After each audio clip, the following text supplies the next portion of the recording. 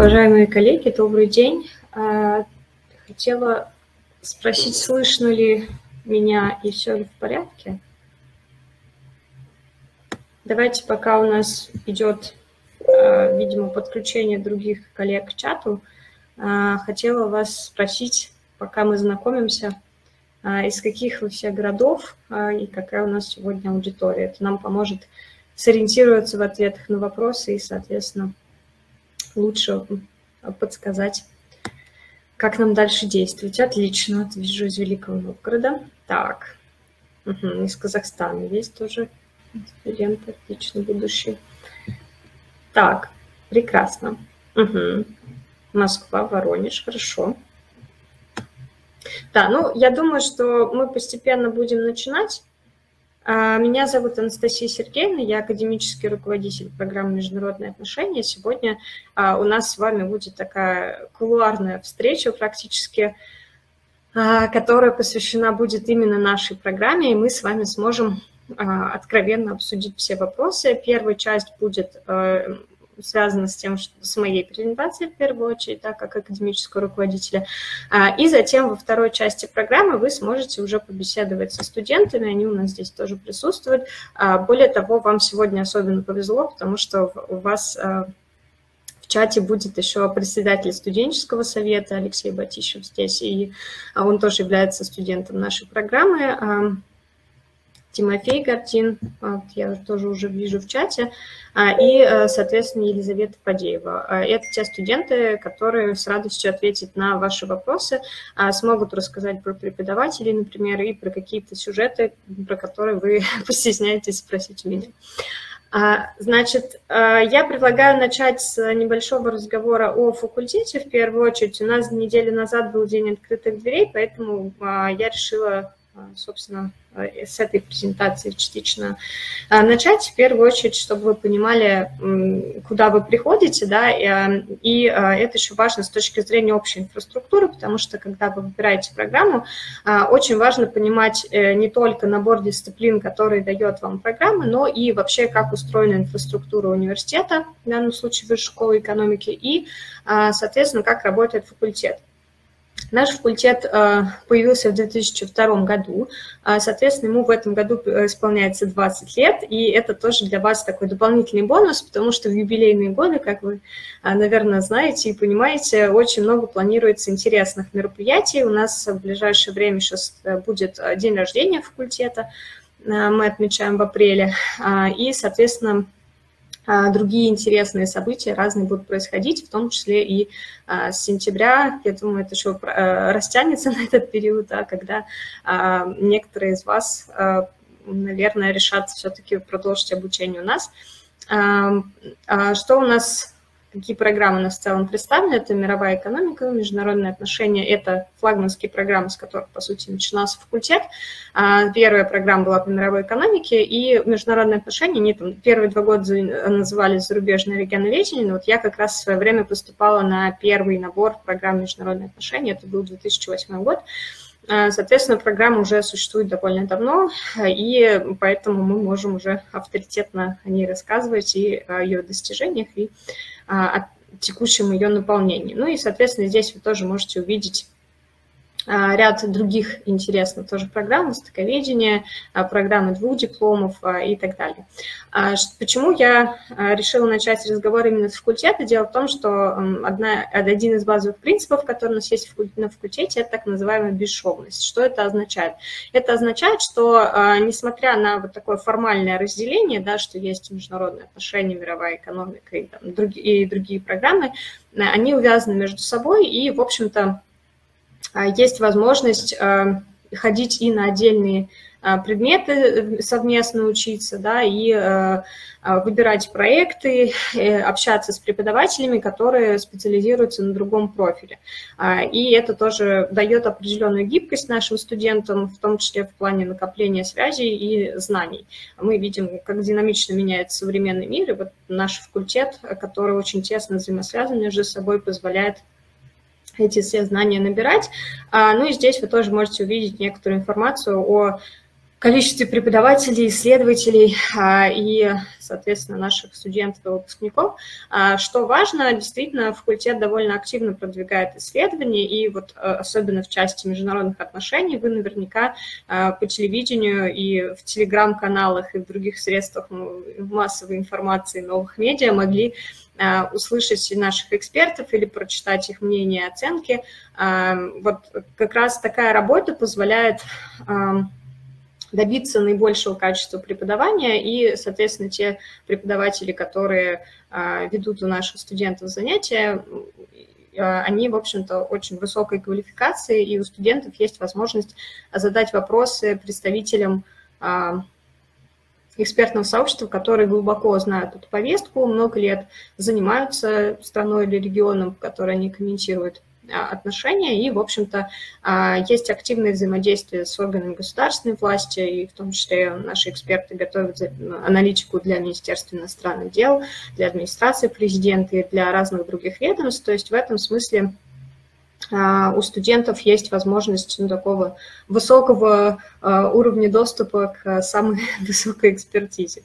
А, ну и немного по преподавательскому составу. А, у нас в этом году, а, ну, уже в прошлом, в 2021, сменился декан, это теперь Анастасия Борисовна Лихачева, и э, сейчас обсуждаются тоже планы по внедрению ее курсов преподавания. Она была директором э, исследовательского центра, который значительно вырос в эпоху пандемии, я вот как раз под ее руководством работала, поэтому мы ожидаем, конечно, нового прилива силы и энергии, в международные отношения и э, освоение новых горизонтов, а, соответственно, Сергей Александрович Караганов, которого, может быть, вы тоже знаете, слышали из передач э, по международным отношениям, он остается нашим научным руководителем и тоже очень активно нашу программу поддерживает. А научным руководителем нашей специализации является Федор Александрович Лукьянов. Опять же, наверняка, если вы следите за международной повесткой, а вы могли его видеть э, там, в разговоре с Владимиром Владимировичем Путиным в Валдае, читать его комментарии, в том числе в зарубежных СМИ. А, он у нас ведет на втором курсе одну из дисциплин, а, и, в общем-то, тоже есть возможность с ним пообщаться, задать вопросы а, и, э, соответственно, у него поучиться. Я знаю, что некоторые студенты, а, видимо, особенно талантливые и активные, у него даже пишут курсовые и ВКФ. А, не могу сказать, что их много, но, по крайней мере, такая возможность э, есть. Также среди других экспертов, ну, на самом деле их можно долго перечислять, но вот если сейчас Китай у нас в тренде, часто обсуждается, у нас на самом деле очень сильная школа китаеведения, а, на факультете а, образовалась. И, в общем-то, один из таких ведущих специалистов – это Василий Борисович Кашин. Он сейчас возглавляет у нас исследовательский центр. А, ну и есть много других, например, Александр Владимирович Лукин, который руководитель департамента международных отношений, он тоже очень известный китаист, у которого тоже большое количество связей в сообществе э, научном, и это, конечно, большой актив нашего факультета. Ну и здесь тоже э, есть специалисты по мировой экономике и так далее. Мы сейчас, наверное, на этом подробнее останавливаться не будем. Если у вас будут вопросы, я с удовольствием отвечу. Значит, э, сейчас, одну секунду просто не, не, не, не та версия презентации загрузилась почему-то. А, значит, а, и то, что касается программы «Международные отношения», мы теперь поговорим о ней более подробно. Что хочется сказать? А, ну, в первую очередь хочется назвать преимущества программы, которые будут характерны для вашего набора, то есть для набора 2022-2023 года. У нас появилось довольно много позитивных изменений, а, как раз-таки специально для вас. Во-первых, у нас добавилось 5 бюджетных мест, что немаловажно, и, в общем-то, а, отражает многолетний спрос на нашу программу. Руководство школы экономики нам пошло навстречу в этом смысле. И вот такая э, линейка бюджетных мест расширилась. Их теперь будет 45. А также у нас а, добавился еще один выборный предмет в вступительные экзамены, но об этом я скажу чуть позже в блоке по, про поступление. Еще хотелось бы назвать, э, ну, в первую очередь, то, что мы серьезно переработали программу. Это, в принципе, работа велась еще с осенью 2021 года, потому что уже тогда в принципе, было понятно, что международные отношения переформатируются, то есть там появляется более серьезный запрос на понимание технологий, например, того, как работают экономические санкции – и так далее. И а, еще вот с того момента мы вели активное переосмысление того, как программа должна быть выстроена, чтобы у наших студентов и будущих выпускников, которые пойдут на рынок труда, были самые актуальные и востребованные знания на рынке. А, ну и, соответственно, вот э, мы а, активно нашу программу пересмотрели в качестве основного результата. Ну, во-первых, у нас обновилась программа по английскому языку, она реализуется вместе с, так же, как и другие восточные языки, она ре, будет реализовываться вместе с программой «Мировая экономика». А, и для э, первых двух лет обучения она называется English for International Studies, то есть это именно профессиональный английский язык. Мы э, затачиваем студентов сразу на профессиональную лексику, начиная с первого курса, поскольку к нам поступают обычно ребята с очень высокими баллами, и а, мы решили, что как раз-таки сплав мировой экономики международных отношений должен быть отражен сразу же а, с момента обучения. А, далее, ну, тоже из важных моментов, это добавление тоже новых предметов, но вот, как я уже сказала, будет э, связка с изучением санкций, а, с более такой интерактивной подачей материала, чтобы была прикладная составляющая ну, там, и в плане переговоров, в плане а, решения кейсов, то есть эти моменты у нас будут в программе отражены и появляться, ну и, соответственно, а, по программе мы наверное, чуть позже поговорим. Значит, из основных преимуществ, которые у нас существуют довольно много лет и которые для нашей программы являются традиционными, а, мы стараемся подходить к э, обучению гибко и так, чтобы наши студенты а, имели максимум возможностей выбрать то, что они действительно хотят изучать. Это, в общем-то, и политика университета, как вы, наверное, знаете, если вы изучали а, инфраструктуру высшей школы экономики, то есть у нас ориентация большая на индивидуальные учебные траектории на то, чтобы а, э, студент выбирал осознанно тот набор дисциплин, с которым он хочет пойти дальше в жизнь. А, вот к этому относится, например, выбор языка. А, если вы слушали о программе международных отношений в других вузах, скорее всего, там выбор языка остается именно за вузом, то есть он распределяется по квотам. У нас, в принципе, определенные квоты существуют, но, как правило, они не жесткие, и, в общем-то, большинство студентов в итоге изучают именно тот язык, на который они изначально нацеливались. То есть могут быть ограничения, связанные там, с большим спросом, например, тогда выбираются по рейтингу, но по большому счету а, его можно, все равно а, язык можно выбрать при поступлении уже на программу. Что еще важно? У нас есть дисциплины на английском языке непосредственно. А, это тоже важный такой элемент а, освоения материала, набора профессиональной лексики, в общем-то, интеграции в международное профессиональное сообщество.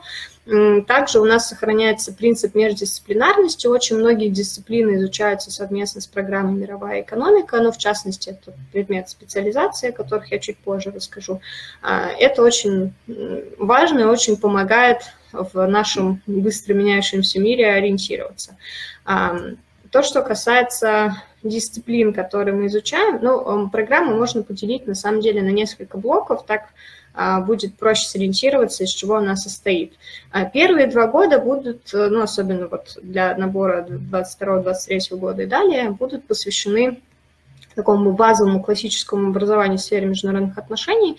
А, такие предметы вы можете найти на многих программах по международным отношениям в других вузах. То есть в первую очередь это то, что касается истории.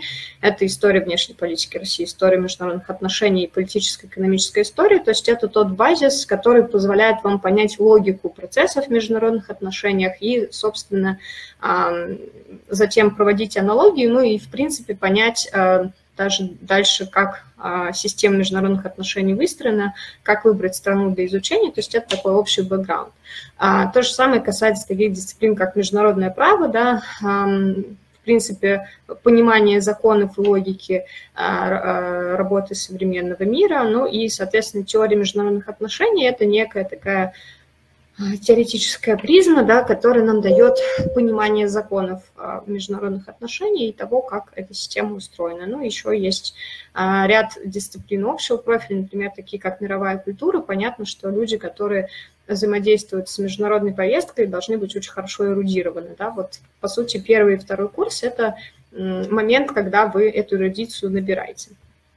А, мы обращаем большое внимание на экономические дисциплины. А, во-первых, потому что ну, наш опыт показывает, что это очень удачная связка, и, а, в общем-то, очень многие э, выпускники находят работу именно на стыке с предметами по мировой экономике и регулированию. То есть это может быть даже иногда не такое сильное погружение в экономические процессы, но там координация, управление проектами. Если это компании, то действительно, ну вот как, например, в Росатоме есть э, подразделение такое, Руссервис называется, у них, например, есть проекты, управление проектами, да, и там продажные э, истории, вот как раз которые, где наши специалисты тоже могут быть потенциально востребованы. А, поэтому мы а, базу по экономике даем, и даже если мы говорим о международных организациях, там тоже есть блоки, которые связаны именно с экономическим регулированием. А, ну, как мне кажется, для нашей страны сейчас это будет направление еще более более важное, чем раньше, именно в, тоже в контексте международных связей с разными регионами мира, поскольку э, понятно, что есть определенный собственный запас прочности, но если есть диверсифицированные хорошие а, международные связи, то, конечно, нам это будет а, очень сильно помогать, и я думаю, что такие специалисты будут в нашей стране в ближайшее время очень востребованы. А, то, что касается блока профессиональных дисциплин, а, здесь вот небольшой будет а, дисклеймер, да, как вообще выстроены специализации и, скажем так, узкие специализации в международных отношениях. По большому счету они могут происходить либо по сфере изучения, да, это, например, там, кибербезопасность, терроризм или там, водная безопасность, какая-то проблема, которую вы можете изучать э, в разных странах и с разных сторон. Да? А, либо второй момент – это а, Соответственно, выбор страны для специализации изучения, как правило, международники совмещают оба аспекта. Это еще связано с тем, что у нас есть выбор иностранных языков. А, мне кажется, я его не озвучил, но у нас пока, соответственно, языков 8 остается. Да, это из э, пять западных языков, э, ну, европейских языков, правильно мы называем, но хотя на самом деле тот же французский, он используется не только во Франции, как мы знаем, и та же история с испанским. А, ну, помимо этих двух у нас есть еще и э, испанский, итальянский, немецкий и португальский. Кстати говоря, в текущих реалиях, может быть, на португальский стоит обратить тоже особое внимание, а, потому что как раз роль Бразилии, я думаю, и вообще такой группировки э, э, института, как БРИКС, да, такой площадки, ее правильно назвать, она не институт, у нее устава нет, да, но вот такой площадки, как БРИКС, она, наверное, тоже у нас будет возрастать, и в этом смысле португальский язык тоже приобретает новое значение в текущих условиях.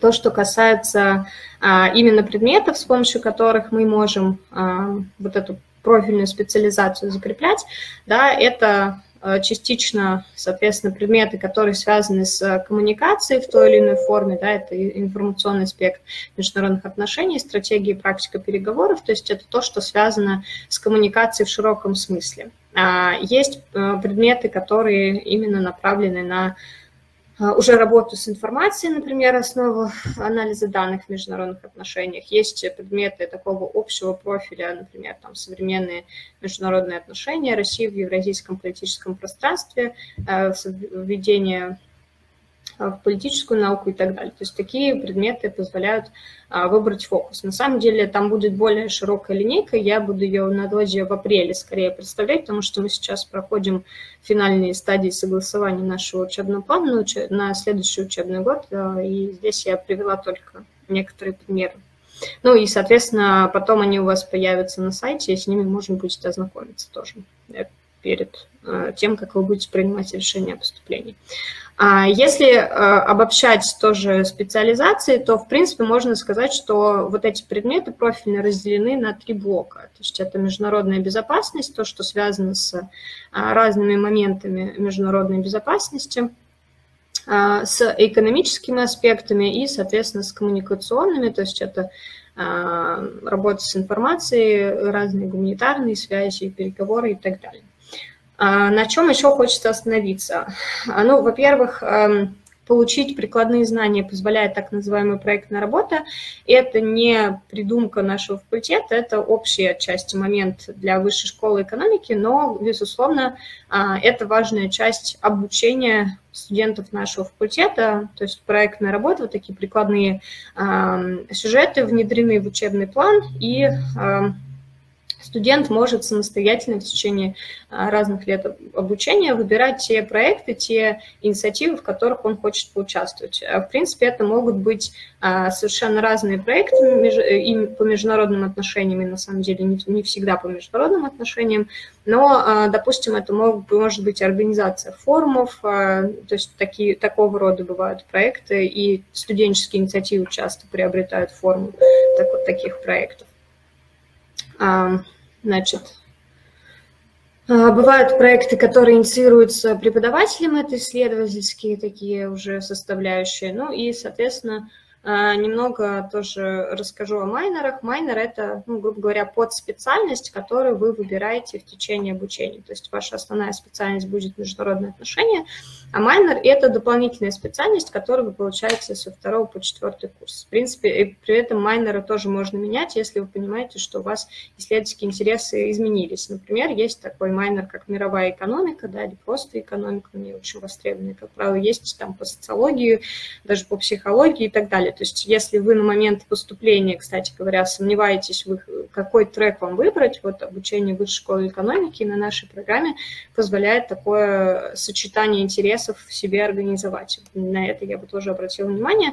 Ну и, соответственно, страновая специализация распределяется по изучаемым языкам. Мне кажется, я не называла восточные. Из восточных у нас китайский, арабский и японский. А, соответственно, страновая специализация, что это такое? Это а, дисциплина, которая ведется целиком весь третий курс. Она разделена на два блока, экономика и политика, ну и, соответственно, далее идет изучаемая страна, как правило, там выбор по языку, то есть экономика и политика Китая. А у нас Япония и страны Юго-Восточной Азии объединены в один блок. Кстати, тоже сейчас к ним довольно большой интерес именно к тому, как устроена экономики э, юго стран Юго-Восточной Азии. А у нас со следующего года добавится специализация по Индии, тоже, в принципе, такое важное нововведение. А, а, ну, Латинская Америка есть, европейские страны, в принципе, представлены по языкам все, то есть Испания, там, Германия, Франция и так далее. И можно изучать информацию, которая, соответственно, по этому языку представлена. Важный момент, который интересует, естественно, многих абитуриентов и э, родителей, и студентов, и а, в принципе, а, молодых специалистов, а, это, безусловно, трудоустройство и вообще возможности для реализации. Здесь я хотела бы отметить два сюжета. Во-первых, наш факультет, наша программа, в частности, будут, ну, и уже начали ориентироваться на прикладные проекты внешние с работодателями. Вот я упомянула до этого проектную работу. Мы проекты с внешними экспертами тоже делаем, это отчасти возможность э, закрепить э, контакты на будущее и, соответственно, проходить практику. Вот, например, я в этом году запускала проект с э, ну, своей однокурсницей, она сейчас работает в МИДе, и мы делали проект по продвижению российских экономических интересов в странах Азиатско-Тихоокеанского региона. Мы приглашали туда сотрудников э, Министерства экономического развития, а, Министерства иностранных дел, многих других. Вот у нас 2 апреля в 10 утра планируется встреча с э, представителем а, и с сотрудником торгового представительства в Сеуле. В принципе, там будет открытая регистрация. Если интересно, можете подключиться, послушать. Мы, по крайней мере, надеемся на очень интересное обсуждение. Ну, соответственно, вот иногда те эксперты, которые приходят, в частности, там, из Минэкономразвития, когда к нам приходили, они приглашают студентов на практику. Я знаю, что некоторые свои заявления туда подали уже самостоятельно. То есть такие, э, в общем-то, моменты у нас бывают, и э, мы надеемся эту сеть контактов продолжать расширять. Если переходить именно к дипломной практике, то э, это обязательный элемент учебного процесса. Она у нас сейчас закреплена на четвертом курсе в апреле. И здесь студенты проходят практику ну, в довольно широком спектре организаций. Их можно разделить по сути, на отдельные направления. Например, есть направление государственной службы, то есть это а, Совет Федерации, например, а, ну, управление по внешним связям. Это может быть как раз-таки Минэкономразвитие. Там, кстати говоря, вот это не всегда афишируется, но там есть интересные проекты, в частности, связанные с зеленой повесткой, регулированием климата и так далее. То есть это не только МИД делает, не только МИД это продвигает, но и другие наши министерства. А, соответственно, Минпромторг тоже есть среди тех министерств, с которыми мы активно взаимодействуем. Далее есть блок а, который касается международных компаний. В принципе, мы их отдельно сейчас не выделяли, поскольку их, а, ну, во-первых, их довольно много, во-вторых, сейчас э, по понятным причинам мы пока еще до конца финальный список э, скорее всего, представить не сможем, но по большей части у нас все равно студенты остались на практике в тех местах, которые они себе запланировали, и, в общем-то, многие с четвертого курса уже начинают работать. То, что касается СМИ, а, в принципе, у нас э, выстроена линейка контактов, а, дальше, возможно, практики в течение учебного года, но в частности, вот в Rush Today нас приглашали а, наших студентов э, в в Russia, Russia Beyond the Headlines есть такое издание, оно больше по ну, продвижению можно сказать, мягкой силы российской. В общем, а такие, да, ну, то есть там можно стажировки проходить и на иностранных языках, поскольку они ведут именно на иностранном языке вещания. Спутник, он тоже на разных языках мира работает. А, туда принципе, мы тоже с ними взаимодействуем, и там эксперты тоже наши интервью дают. В общем, такие контакты а, в целом есть. А, то, то, что касается международных организаций, у нас довольно активные связи с Евразийской экономической комиссией, а, и там, ну, а, раньше до ковида проходили практику, мы надеемся, вот в ковид они ее а, приостанавливали, но тем не менее, допустим, на форумы они приходили, их представители, научные исследователи есть, то есть в целом у нас с ними активная коммуникация есть, мы планируем в ближайшее время мероприятия тоже. А, в принципе, если вы будете следить за а, группой нашей программы в социальных сетях, то вы сможете ко всем мероприятиям, которые там анонсируются, где есть регистрация, подключаться, познакомиться с факультетами, экспертами и так далее. То есть здесь, в общем-то, никаких ограничений нет. И, безусловно, еще из важных моментов – это аналитические научные структуры, а, то есть это а, перцентр, например, есть такой, он занимается вопросами а, ну, уже безопасности, такого ядерного сдерживания, в общем, профиль безопасности у него есть Российский совет по международным делам, там наши студенты стажируются, Совет по внешней оборонной политике, ну и ряд других организаций. А, значит, и теперь я хотела бы немного рассказать о поступлении. А, как я уже сказала, у нас с этого года 45 бюджетных мест, 50 коммерческих и 25 мест для иностранных студентов. А, э, в верхней части слайда вы можете увидеть баллы минимальные для заключения договора на платной основе. Соответственно, у нас 4 экзамена. Я хотела бы обратить на это тоже внимание, потому что частые вопросы именно по поступлению связаны с профильными экзаменами.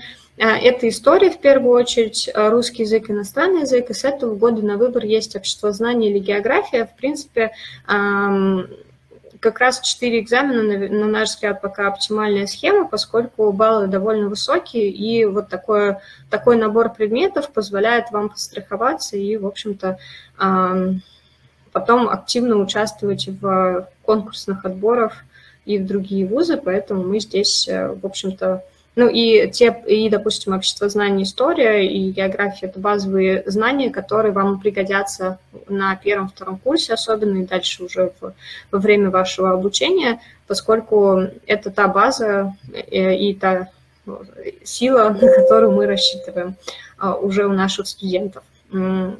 Баллы, которые для прохождения на бюджет представлены ниже, по, по прошлому году это было 380 тысяч 400, соответственно. А, есть э, набор еще индивидуальных достижений, но я думаю, э, мы уже можем его чуть позже обсудить.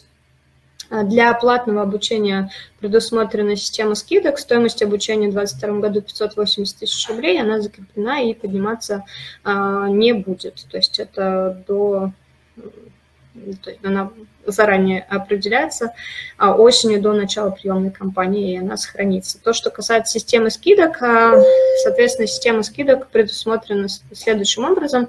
А, при поступлении у вас фиксируется скидка на первый год обучения, дальше она уже зависит от того, как вы реализуете себя во время обучения и какие у вас оценки. Ну, я лично знаю несколько случаев даже перехода на бюджет, когда студенты очень активно себя проявляли и учились. Здесь у вас есть возможность сделать скриншот как раз группы абитуриентов нашего факультета. А, и также вы можете найти группу программы «Международные отношения». Там можно, в принципе, почувствовать атмосферу, увидеть открытые мероприятия, сходить на них, задать вопрос студентам. В общем-то, мы открыты к общению в социальных сетях и будем рады вам подсказать а, ответы на те вопросы, которые у вас остаются. Ну и небольшой бонус еще хотела озвучить, если вдруг у нас присутствует слушатели 9-10 классов, а, у, нашей программы факультет в целом есть важный проект, который называется «Школа будущего международника». Это э, проект, который мы подготовили специально для наших абитуриентов, для того, чтобы они смогли сделать, с одной стороны, чтобы они смогли познакомиться со специальностью, с нашим факультетом из программы обучения, и, соответственно, чтобы их выбор профессии был осознанным. Да? У нас в школе нет такой, такого предмета, как международные отношения, у нас есть там только история, иностранные языки и общество знания, да, это то, что приближено более-менее. А, поэтому у нас есть специальный проект. Более того, он уже несколько лет существует в онлайне, и, в общем-то, мы его запускали в онлайн даже до ковида. А, у нас э, еще, там, мне кажется, где-то с года с 18 мы подключали слушателей из регионов и даже других стран. А, поэтому такой формат сохранится, и можно будет в нем поучаствовать. С этого года а, за, за высокие достижения, за отличную учебу в школе будущего международника добавляется плюс 2 балла в личные достижения. То есть это такой дополнительный стимул а, там поучаствовать. Думаю, что на этом презентацию я буду общую завершать. И давайте тогда переходить, наверное, к вопросам. Так, сейчас одну секунду.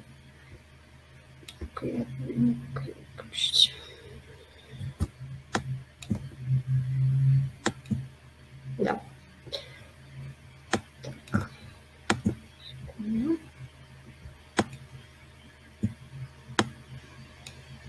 Так. Коллеги, если э, да, по карьере, мне кажется, я ответила, но могу еще, наверное, немного рассказать. На самом деле, а, есть еще один, пожалуй, важный момент, о котором можно послушать. Это зарубежная магистратура. Я знаю, что многие наши студенты а, и абитуриенты на нее тоже ориентируются. В принципе, такая возможность тоже есть. У нас наши студенты получают высокие баллы по международным экзаменам, по английскому языку и даже по, и по другим, естественно, языкам.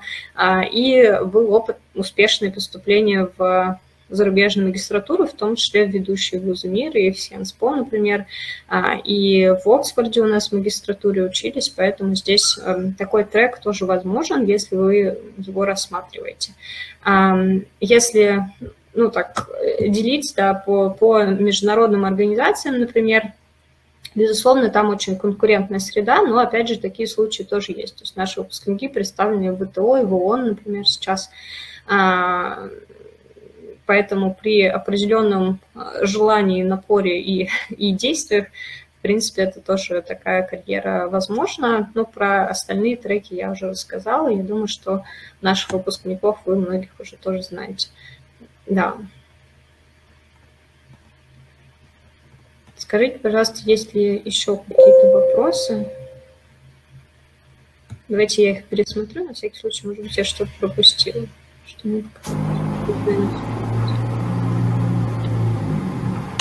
да, Анастасия Сергеевна, слышно меня сейчас? Да, Скажите. слышно.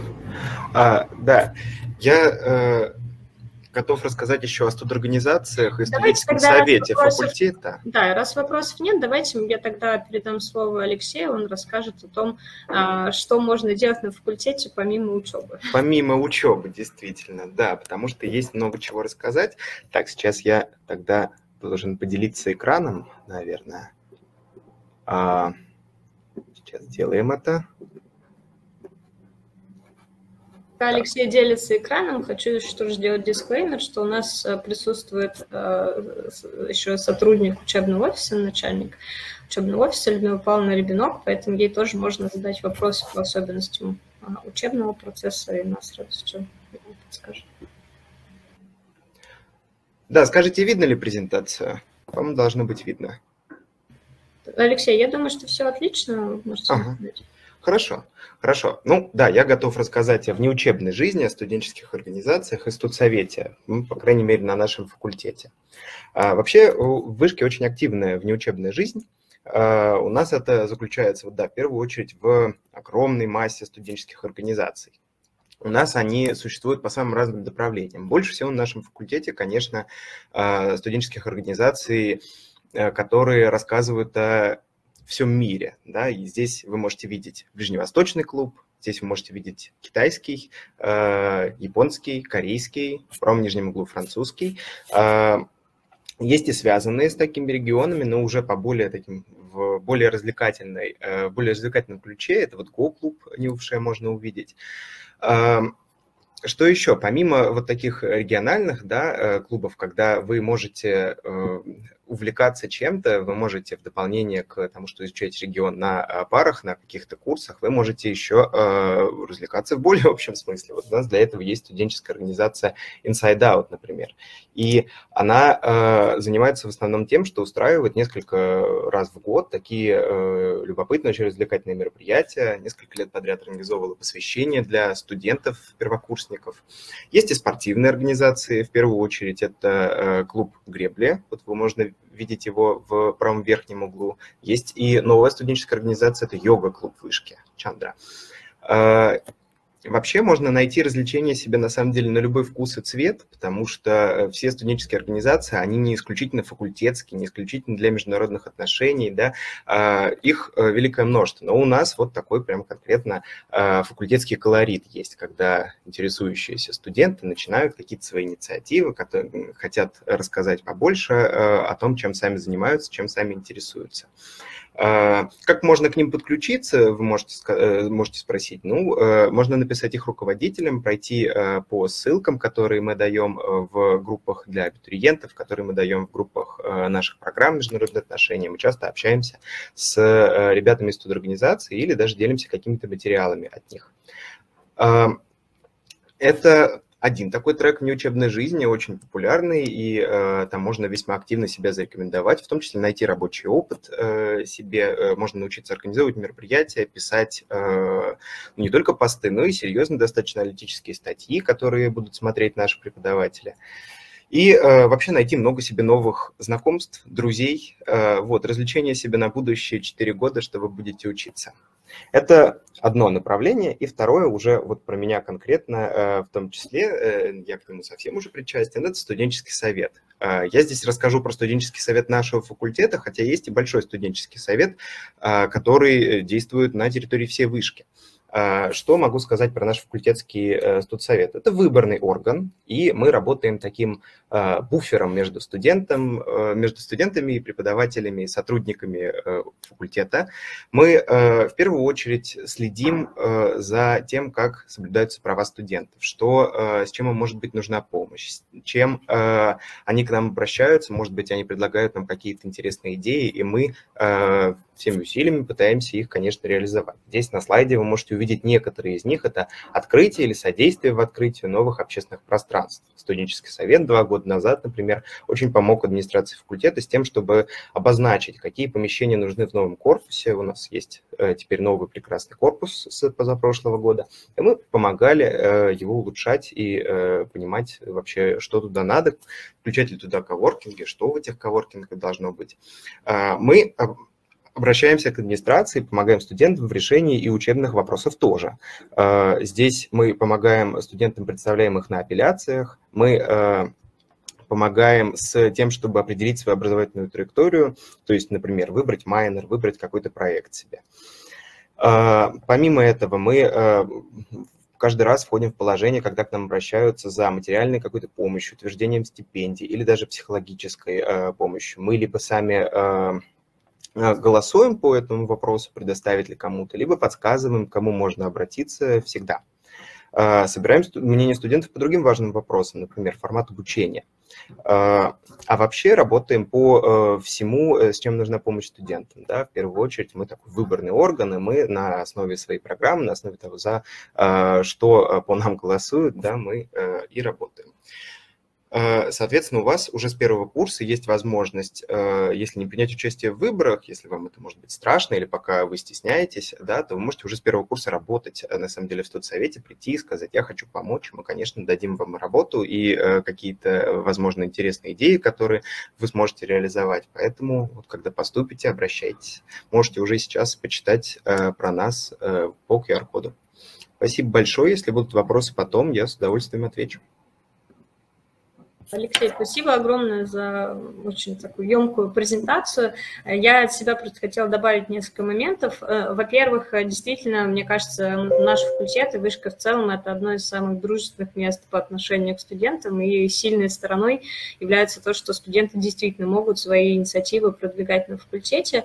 Э, ну, я сама в свое время была автором нескольких таких инициатив, и я с удовольствием наблюдаю, как наши студенты это делают сейчас.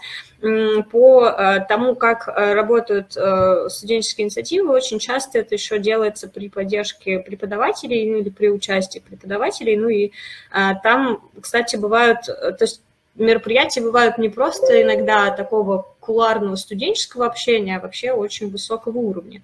А, ну, в частности, Ближневосточный клуб курирует а, один из э, бывших послов, он у нас работает на факультете по региону Ближний Восток, это Андрей Глебович Бакланов, и, соответственно, он ну, из посольства Израиля к нам приходили коллеги, то есть это мероприятие довольно высокого уровня, уже профессионально, в общем-то, можно сказать.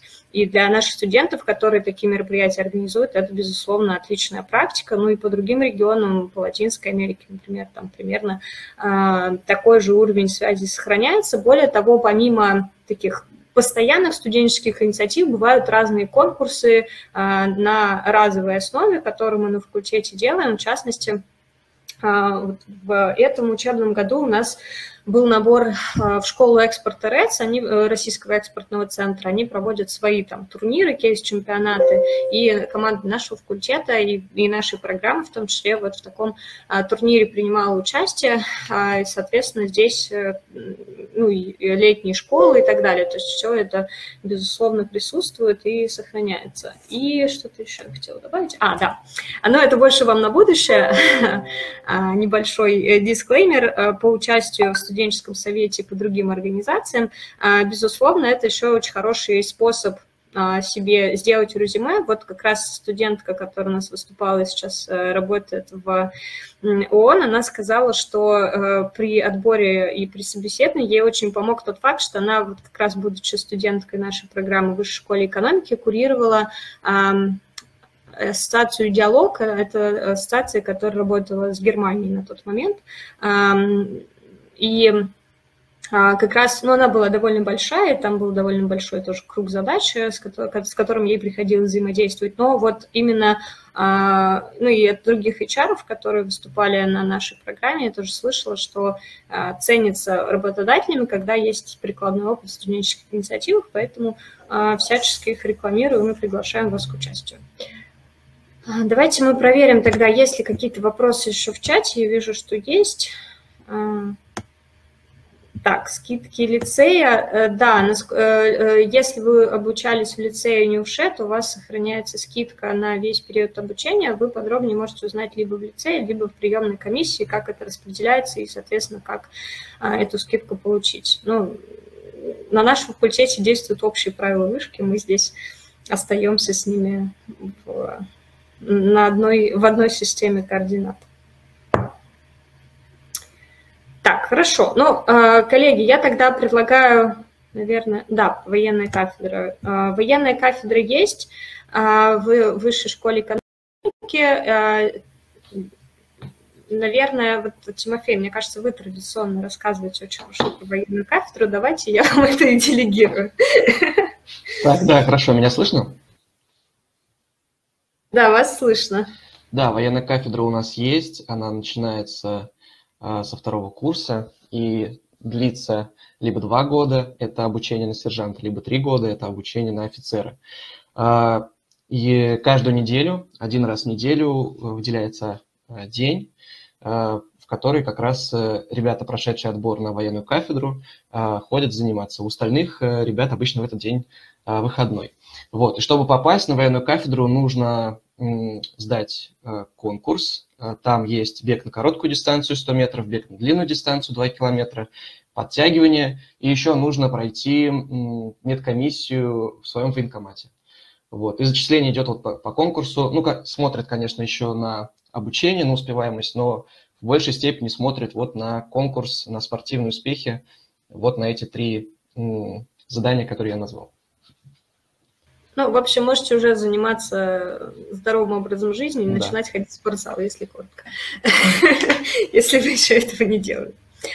Хорошо, коллеги, а, я думаю, что вроде бы я вопросы в чате не вижу. Если вдруг а, у вас есть еще вопросы, пожалуйста, задайте их. Если нет, тогда а, мы делаем, наверное, открываем нашу традиционную сессию. Это общение со студентами. Мне кажется, это самое ценное, на самом деле, что в открытых дверей есть, потому что информацию о программе можно взять с сайта, да, а вот такого эксклюзива, который вам сейчас расскажут, вы больше никак не получите. Поэтому Поэтому э, я тогда уже буду, наверное, отключаться, и наши э, студенты нашей программы продолжат с вами общение, с удовольствием ответить на все вопросы, которые у вас остались и которые вы еще не успели задать. А, благодарю всех за внимание, и за вашу активность и, и за ваши вопросы. Ждем вас на программе и, соответственно, дальше уже оставляю вас на наших дорогих студентов. Хорошо, спасибо большое. Хорошего дня. Хорошего дня. Так, а, ребята, всем привет. Надеюсь, меня слышно. То мне немножко, по-моему, залагало. Э, Леш, слышно меня? Отлично слышно, отлично. Супер. Так, тогда я тоже себя немножко представлю. Меня зовут Тимофей Гардин. Я учусь на третьем курсе, а, являюсь помощником замдекана, а, куратором, Моментом. Э, веду социальные сети нашей программы. Потом у нас еще с нами есть Леша Матищев, который рассказывал вам про студорганизации, про студсовет. А, он, как уже сказали, председатель студсовета, тоже был куратором, учится на четвертом курсе. С нами еще Лиза Фадеева, первокурсница, тоже активная студентка, участвует в разных проектах. И еще к нам вот подключилась Катя Филимонова. А, она прямо сейчас находится где-то на навигаторе, поехала проводить тоже что-то вроде Дня открытых дверей. Да, вот, поэтому, ребят, если у вас есть какие-то вопросы, не стесняйтесь, пишите, мы ответим вообще на все, что касается учебы, что касается внеучебной жизни. Насколько тяжело учиться, какие перспективы, как нам вообще тут... Э, любые вопросы вы можете писать их в чат, пишите лучше их в чат, и мы на все обязательно ответим. Вот, потому что пока вопросов нет, э, вот, мы ждем с нетерпением.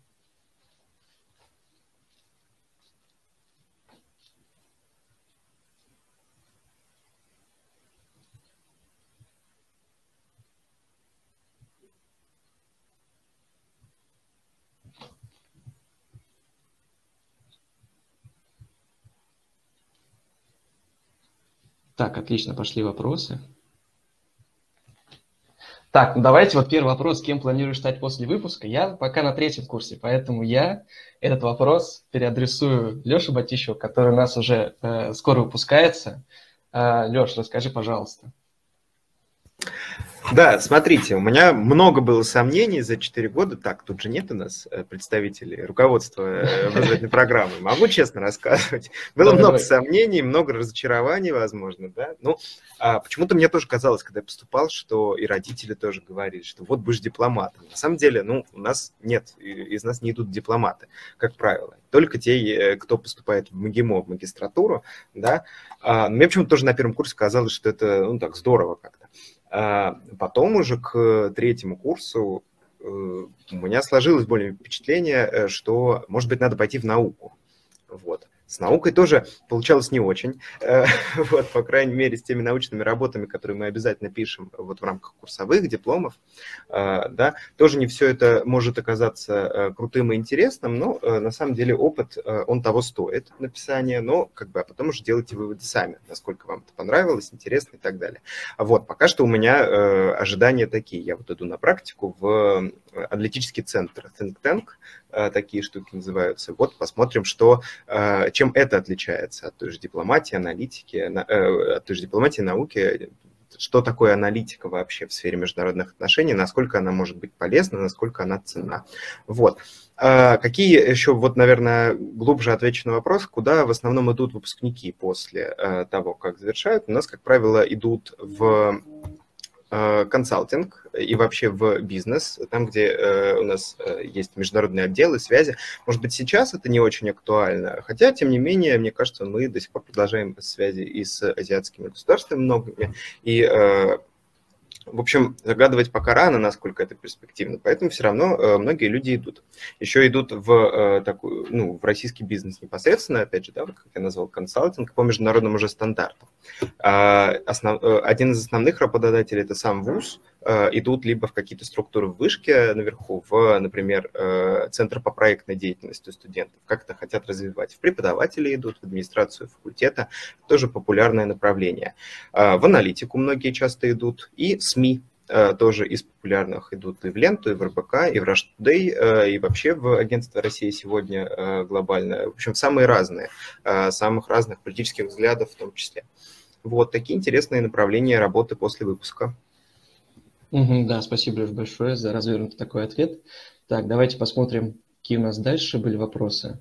Э, стоимость обучения. Стоимость обучения 580 э, тысяч в год. А, расскажите, пожалуйста, про общежитие. Так, но это тоже а, больше, наверное, потому что в общежитии сейчас живет у нас тоже только Леша. Я жил в общежитии а, в Дубках на первом курсе. Ну, еще Катя. Ну, Катя, ты, если ты хочешь, ты можешь тоже ответить.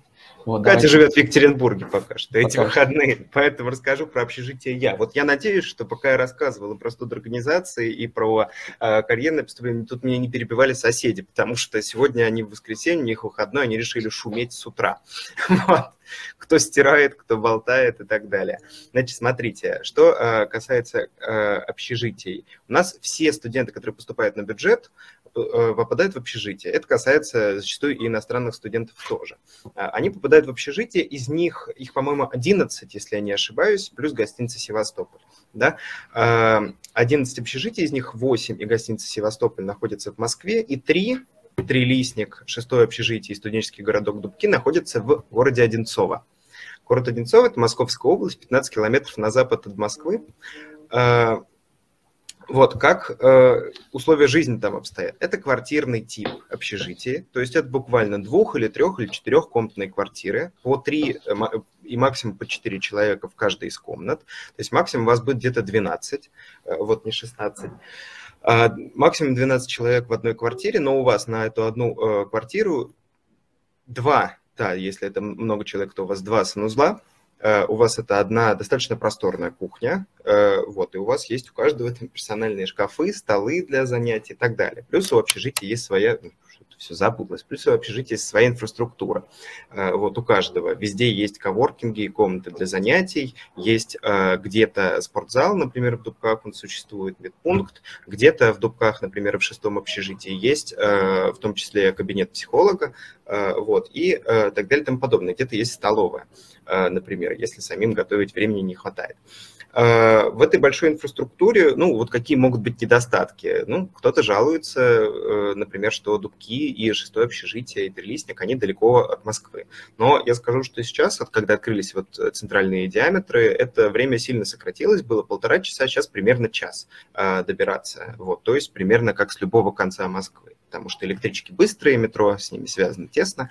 Короче говоря, времени на то, чтобы добраться от тех же Дубков, самого дальнего общежития, до э, корпуса, где я учусь, а это у нас большая ордынка 47, как правило, э, и малая ордынка 29 и 17. До э, корпуса от двери до двери буквально я добираюсь за час 10 минут. Это не так много. Вот, и э, часто это интересно, смотришь Москву и так далее. В общем, свои плюсы в этом тоже есть. А про платных студентов. Платные студенты по-разному э, находят себе места для э, заселения. Как правило, заселяют в э, ЖК Левела Мурская. Это у нас метро Черкизовская, э, красная ветка наверху э, справа. И э, другие еще. Есть платные варианты размещения в гостинице Севастополь, это как раз метро Севастопольская. А там у нас цены разнятся, по-моему, от, э, от 10 до 30 тысяч рублей, в зависимости от того, живете вы с кем-то или живете один. Вот, что еще э, можно по этому сказать? Еще платные студенты могут найти себе э, э, квартиру с помощью вышки. Э, да, э, это система co-living называется, когда несколько студентов объединяются в одну э, квартиру и с помощью вышки находят себе арендодателя, потому что ну, э, вышка здесь дает гарантию, что это студенты нормальные, законопослушные, с ними все будет хорошо, они ничего не сломают и не украдут и так далее. Вот, такие системы размещения вышки есть. Э, я сейчас найду ссылку, где у нас э, подробнее можно э, про это почитать, потому что есть отдельный раздел на сайте. Сейчас найду вам. Так, все, хорошо, Леш, спасибо. Пока пойдем к следующим вопросам. Насколько возможно совмещать работу и учебу? Ну, смотрите, я, например, работаю с первого курса а, вообще, и на первом курсе, конечно, это тяжеловато, потому что на первом курсе самая такая основная нагрузка, большая, очень много пар, почти 6 дней в неделю. Вот, поэтому на первом курсе, может быть, э, немного тяжело совмещать, но, тем не менее, у меня получалось. На втором курсе, когда уже к учебе привык, и, в принципе, пар поменьше становится, как бы и возможностей для работы тоже становится больше, больше свободного времени – а многие ребята, ну, я, например, работаю в большей степени онлайн, вот, поэтому э, совмещать даже на первом курсе с онлайн-работой очень просто. А кто-то уже работает на стажировках, они ходят и в офис, и, то есть, э, работу очень много студентов э, совмещают с учебой спокойно, при том, что вышка часто идет навстречу в этом смысле, поэтому тут обычно проблем не бывает. А, к тому же у нас некоторые ребята идут работать э, прямо э, в структуры вышки. А, например, можно пойти, у нас есть Центр комплексных европейских и международных исследований, вот у нас там работают однокурсники. Мы работаем, например, э, в администрации тоже факультета. А, то есть вариантов много, с этим проблем быть не должно. Э, можете немного рассказать про вашу сдачу экзаменов при поступлении? Так, ну вот у нас из тех, кто совсем недавно поступал, это Лиза Фадеева. Э, она поступила на бюджет, поэтому, Лиз, расскажи вот свои недавние впечатления, пожалуйста. Да, всем привет еще раз. Я поступала, ну, вчера буквально, да, скажем так. А, я сдавала из ЕГЭ обществознание, историю, английский язык, русский язык, но при этом я писала очень много олимпиад, и у меня частично округлялось до 100 частично я поступала как раз-таки по результатам именно ЕГЭ. Например, у меня была Олимпиада высшая проба по обществознанию, первая степень. А, это мне округлило результаты ЕГЭ по обществознанию до сотки, аналогично а, и с историей. У меня была вторая степень по истории, по Высшей пробе. А, сейчас, насколько я знаю, они немного изменили Олимпиады, и именно их э, влияние на поступление. Условно, это же Высшая проба по обществознанию первой степень, а, это уже не, не, не 100 баллов, это автоматическое поступление на, на факультет. А, единственное, что вам нужно сделать, это а, сдать ЕГЭ на 75 и выше, как раз-таки, обществознанию, и, соответственно, остальные предметы и их результаты не, не, не учитываются. И касательно других олимпиад, еще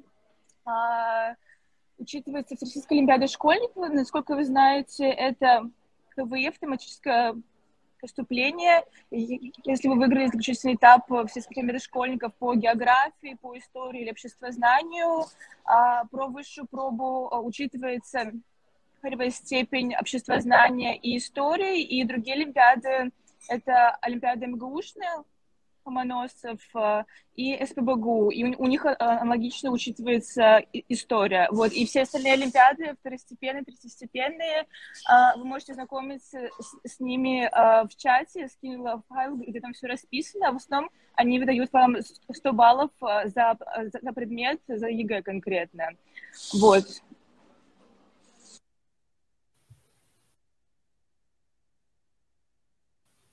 Так, да, спасибо. Ну, то есть, действительно, э, помимо ЕГЭ, э, очень полезно и очень ценно все-таки участвовать в Олимпиадах, потому что действительно у нас на программе э, много бюджетных мест занимают олимпиадники, иногда даже приходится выделять дополнительные места за счет средств ВШЭ, чтобы зачислить тех, кто поступает по ЕГЭ.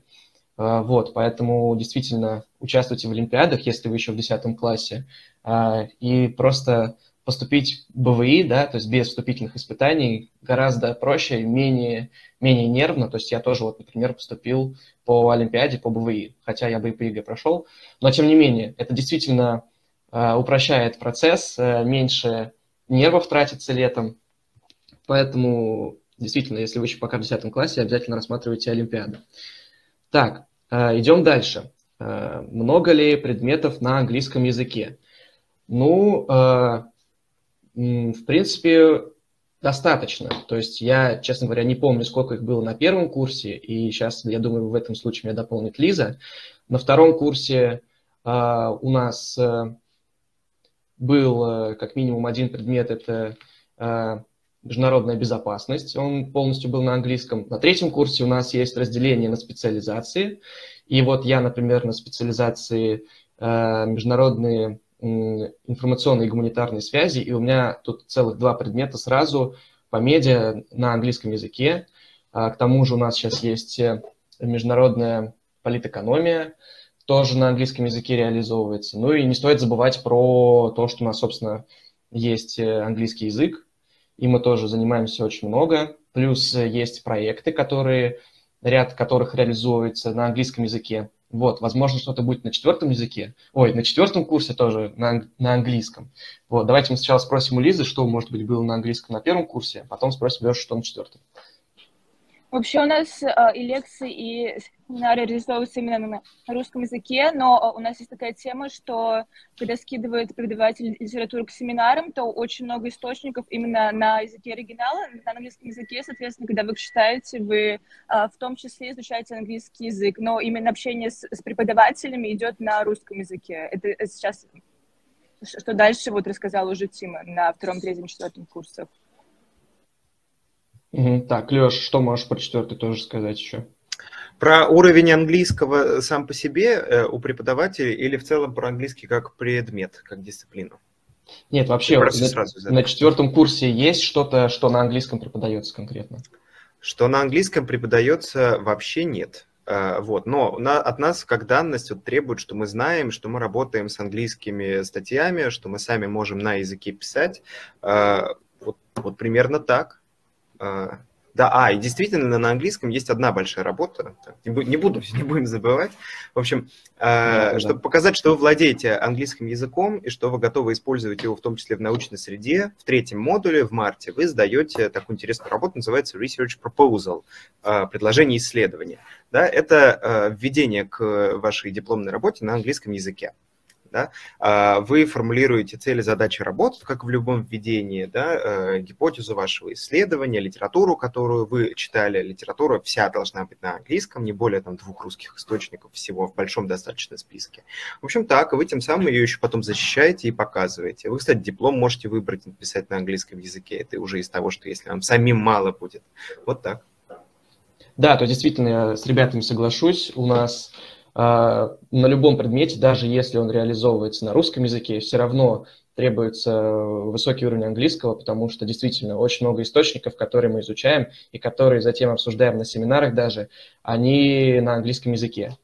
А, вот. Ну и как Леша тоже рассказал, Research Proposal на четвертом курсе мы тоже пишем на английском языке. Так, давайте пойдем пока дальше. Можете еще раз повторить балл для платного обучения суммарный. Так, смотрите, э, там нужно сдать русский язык на 60 баллов минимум, э, иностранный язык на 70 баллов, э, историю 65 баллов и на выбор обществознания или география тоже на 65 баллов. Вот. Это минимальные баллы по четырем предметам для поступления на платное обучение. Так, про подработку мы уже отвечали. Какой уровень IELTS у ребят на первом курсе? Не совсем понимаю вопрос, потому что мы сдаем IELTS, ну, точнее, называется у нас независимый экзамен по формату IELTS а, в конце, в конце второго курса, да, а, вот, ну, там у всех уровень, но, как правило... Уже по-разному. С конца да. второго по конец третьего вы можете выбрать любой модуль, в котором вы будете а, сдавать вот независимый экзамен. Да, теперь есть свобода выбора в этом отношении. Да, ну, возможно, это тоже пандемия внесла свои коррективы, потому что раньше было в конце второго курса все сдавали, но вот наш год, мой, мы сдавали в начале третьего курса, потому что нам вот как раз этот экзамен перенесли из пандемии. Так, проходной балл на бюджет. Проходной балл на бюджет э, каждый год э, разный. А в прошлом году, точнее, в 2021 году он составил 380 баллов. А, вот, э, то есть рассчитывать Давай нужно... я добавлю. Ну, давай, да, добавь тоже. Да, просто проходной балл на бюджет формируется летом, нет единого проходного балла, и мы угу. можем пока что его запрогнозировать, к сожалению, потому что это такая величина, которая каждый год совершенно непредсказуема но пока что мы ориентируемся на 380-390 баллов. То есть дальнейшие корректные баллы, они уже будут по определенной компании, и доходной балл будет здесь только в августе. Но вот ориентируйтесь на текущие баллы в диапазоне 380 Пока что предсказать балл очень сложно. И университеты, которые это делают, как бы вас дезориентируют. Поэтому это не те вопросы, которые мы сейчас можем сказать, точно не собрать. Угу, да. Так, хорошо, давайте пойдем дальше. Снова вопрос про Олимпиады. Какие Олимпиады учитываются при поступлении? Какие проценты скидок дают? Ну, давайте я еще раз повторю информацию, какие баллы дают БВИ. БВИ дает э, Всероссийская Олимпиада школьников, победа на заключительном этапе по истории, географии, обществознанию. Э, потом перечневые Олимпиады, э, высшая проба э, победителей по истории обществознанию, а также Ломон, побед, э, Олимпиада Ломоносов и Олимпиада от СПБГУ – а, победители по истории, вот э, все эти ребята, они могут рассчитывать на поступление без вступительных экзаменов.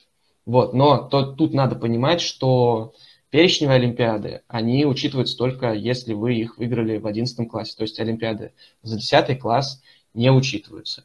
Вот, ну и как тоже уже Лиза рассказала, олимпиады, другие, которые в этом списке нет, и которые другого уровня, например, второго и третьего, они как, как правило, дают э, просто 100 баллов. То есть, допустим, вы набрали по предмету 94 балла, и вы эту Олимпиаду э, в приемной комиссии показываете, да, и вам просто округляют э, балл по предмету до 100.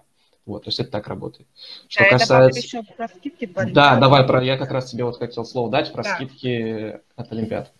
Смотрите, да. скидки для олимпиадников есть 70, 50, 25, такие же, в принципе, для ЕГЭшников.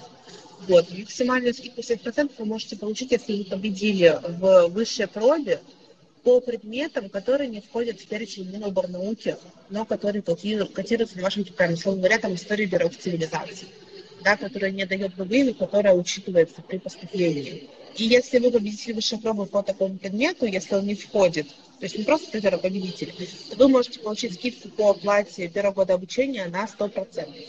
Соответственно, 50% это для участников заключительного этапа среди олимпиады школьников и для победителей тех олимпиад и призеров тех олимпиад первого уровня, которые не дают ГВИ, но входят в перечень Минобрнауки. А, и 20% это для тех, кто победил либо стал призером на региональном этапе Сероса, а, но не пошел на заключительный этап. Либо же, если вы участвовали в заключительном этапе э, высшей пробы, но не добрали от 1 до 10 баллов. В таком случае вам на первый год обучения дается скидка 25%, и все эти скидки вы можете сохранить на весь период обучения, если вы будете учиться по пятибалльной шкале на 4-5, по десятибалльной на 6-10. Если вы получаете более двух э, оценок э, удовлетворительных либо пересдачи, ваша скидка автоматически снимается, и чаще вы придется эту скидку зарабатывать по новой, по системе рейтинга. В таком случае она уже будет у вас а, непостоянные. Так, да, спасибо большое. Пойдем дальше. Вот, э, очень любимый всеми вопрос. В чем отличие вышки, МГИМО и МГУ?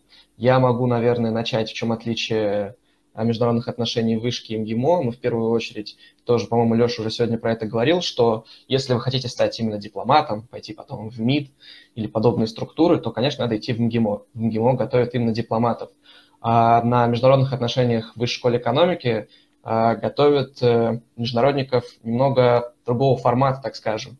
То есть у нас больше а, аналитических дисциплин, то есть у нас потом выходят аналитики, которые идут а, в разные мозговые центры а, или просто в какие-то международные компании. То есть у нас тоже очень много экономики, очень много аналитики.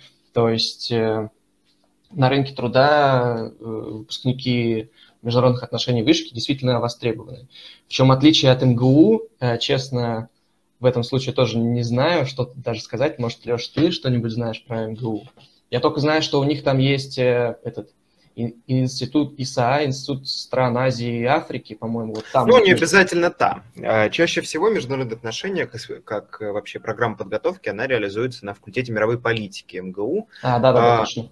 Да, а, программа похожа, действительно, но а, у нас в чем отличие? У нас на один язык меньше, мы не изучаем датский, вот почему-то, но у нас зато по желанию можно выбрать корейский, а, кстати говоря. У нас один восточный язык добавляется при желании студентов. Вообще как бы для э, тех, кто с вышкой не очень знакомы с нашей системой, у нас можно, в общем-то, заказать себе курс. вот. Если возникнет много желающих, например, на какой-то дополнительный научно-исследовательский семинар или на то, чтобы изучать другой язык, можно сформировать. Если это группа больше 15 студентов, то назначится преподаватель, вам несут такие изменения в учебный план. Такого можно добиться, если действительно очень чего-то хотеть. А, что касается э, не только языков, но и других специальностей, а, у нас э, есть трек у нас есть треки. Я, например, в отличие от Тима, учусь на международной безопасности, и у меня свой набор предметов. Я выхожу специалистом не только в целом по каким-то гипотетическим международным отношениям, а у меня есть конкретные знания по информационной безопасности, по военно-политическим аспектам, по э, кибербезопасности в том числе, э, и по э, тому, как взаимодействовать, например, с религиями, с террористами и вообще антитеррористическую политику проводить. Э, вот, нас готовят по этому профилю. Плюс еще что можно добавить, у нас помимо того, что мы просто изучаем языки, и нам какой-то регион интересен, да, мы на третьем курсе этот регион, и на четвертом тоже, подробно изучаем. На третьем курсе мы проходим экономику и политику выбранного региона, причем не обязательно брать именно регион, язык которого ты изучаешь сейчас. А, я, например, учил э, и учу немецкий язык, продолжаю, но при этом регион у меня Ближний Восток. Вот, и поэтому я прохожу экономику политику на четвертом курсе политическую историю этого региона. Вот. И помимо того, что мы учимся э, работать, изучаем политику, экономику вот, выбранного региона, мы проходим также на третьем курсе э, научно-исследовательский семинар, посвященный проблемам нашего региона. Да, у меня тот же был НИС, э, как он называется сокращенно, по э, ключевым проблемам исследований Ближнего Востока. У кого-то был такой по Тихоокеанскому, да, по Азиатско-Тихоокеанскому региону, у кого-то по Северной Америке. Короче говоря, мы уточняем, и одна из наших ключевых особенностей – это то, что мы можем расширять нашу траекторию, что мы можем делать выбор, да, безопасность, сотрудничество или гуманитарные связи, э, один регион и другой. И там, где мы выбираем, мы, э, э, ну, точнее, не мы, а нас готовят, да, достаточно на таком подробном уровне. Да, ну, то есть у нас действительно... Еще два слова о МГИМО можно сказать? Да, конечно. А, в МГИМО язык распределяет университет, и получается, вы его не, не, не выбираете. А условно МГИМО есть достаточно много редких языков, условно, там, допустим, шведский а, или какой-нибудь хинди, и вы обязаны а, все время обучения МГИМО учить конкретно этот язык, и его изменить достаточно сложно. А у нас в а, вышке вы самостоятельно выбираете язык и учите его. Да, действительно все так. Но вообще, Лиз, вот расскажи, вот ты, возможно, выбирала между МГИМО, МГУ и вышкой. Почему вот именно международные отношения вышки? Так? На самом деле нет, потому что я училась в лицее при ПШЕ. Ну, собственно, я как бы изначально из этого класса хотела именно в вышку, именно на международные отношения, но у меня было много друзей, которые вот выбирали как раз-таки между МГИМО э, и высшей школой экономики. Ну, на самом деле, в основном, насколько я знаю, все, все пошли в вышку именно кто МГИМО, э, что они рассказывают, им нравятся языки, потому что МГИМО достаточно а, сложно, сложно учиться, но у них именно как раз-таки огромный акцент а, делается в плане языков. условно им обещали там за два года выучить испанский на C1, я не знаю, насколько это реально нереально, вот, но касательно вышки, у нас, я думаю, что а, чуть широкопрофильнее факультет именно в том плане, что у нас очень много разных специфических предметов, а, и, и та же экономика, и, и право, и, и культура мировая. Вот. МГИМО, они конкретно специализируются, условно, там, на, на дипломатии, и там э, учат язык, и все, все, что связано с э, карьерой именно в, в Министерстве иностранных дел, в дипломатии. Вот. И насколько я понимаю, что в вышке чуть э, обширнее выбор именно следующего трека, и да. чем планируете заниматься в, жи- ну, в своей жизни, если угу. работать по специальности? Так, да, хорошо, на этот вопрос ответили. Если э, хотите еще что-то услышать, то тоже дополняйте, задавайте дополнительные вопросы, все будем отвечать. Вот у нас дальше следующий вопрос. Я его, наверное, переадресую Кате. Э, я являюсь гражданином Казахстана. 18 марта я сдал вступительные испытания и в сумме набрал 191 балл. После этого мне пришло сообщение о том, что я рекомендован на зачисление на бюджет. Я не совсем понимаю данную формулировку. Я вхожу в список бюджетников или нет? Насколько я понимаю, а если вы рекомендованы, то у вас как бы есть, да, действительно возможность поступить на бюджет, но для этого вам все равно нужно подать э, документы, то есть вы пока не зачислены, потому что вы еще документы не подали. Есть когда вы подадите документы, тогда уже будет понятно. Возможно, вот Катя сейчас поможет дополнить немножко мой ответ. Если вы уже находитесь в списках тех, кто рекомендован вышка на бюджет, то просто назначенный срок вы подаете документы свои, то есть регистрацию, Катя, Катя, очень плохо слышно тебя, да, действительно. Да. Ну, я насколько... В общем, Тима все правильно сказал. Да, да, то есть вам просто нужно а, подавать документы. Вам там а, не в чате, а в разделе «Вопросы» а, ну, я сейчас перекину, пока будем отвечать на следующий вопрос, почту, куда вам стоит написать и уточнить э, этот момент. То есть э, вам там отправили почту, я просто перекину ее в чат, хорошо? Пока пойдем дальше. Э, вот, общежитие на сколько человек? Ну, по-моему, Леша отвечал, тут зависит от общежития, потому что, например, э, в Москве общежития, они коридорного типа в основном. Вот, и там общая кухня на несколько комнат или на коридор, например.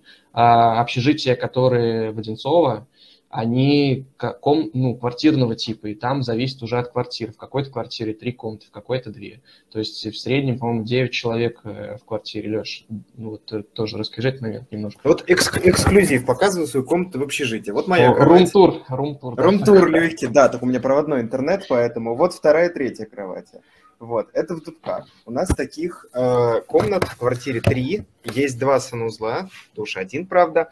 Э, вот, при этом как бы э, у нас на каждую квартиру, да, одна кухня, два санузла. Ты уже рассказывал. Что еще у нас по э, подмосковным общежитиям? Действительно, там квартирный тип, не более вот 12 человек, три комнаты по 4 человека. Это у нас шестое общежитие, такая там ситуация.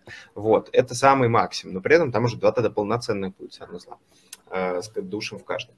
Вот, что еще э, можно сказать э, по этому вопросу? Кухня одна на квартиру, э, вот в московских общежитиях, а там, где э, в, подмосковных, а в московских конкретно, даже если кухня на несколько комнат э, таких получается, то чаще всего это либо половина этажа, либо один этаж, но при этом там много конфорок, много плит э, и так далее, микроволновок и столов с тем, чтобы можно было что-то поесть. Вот так.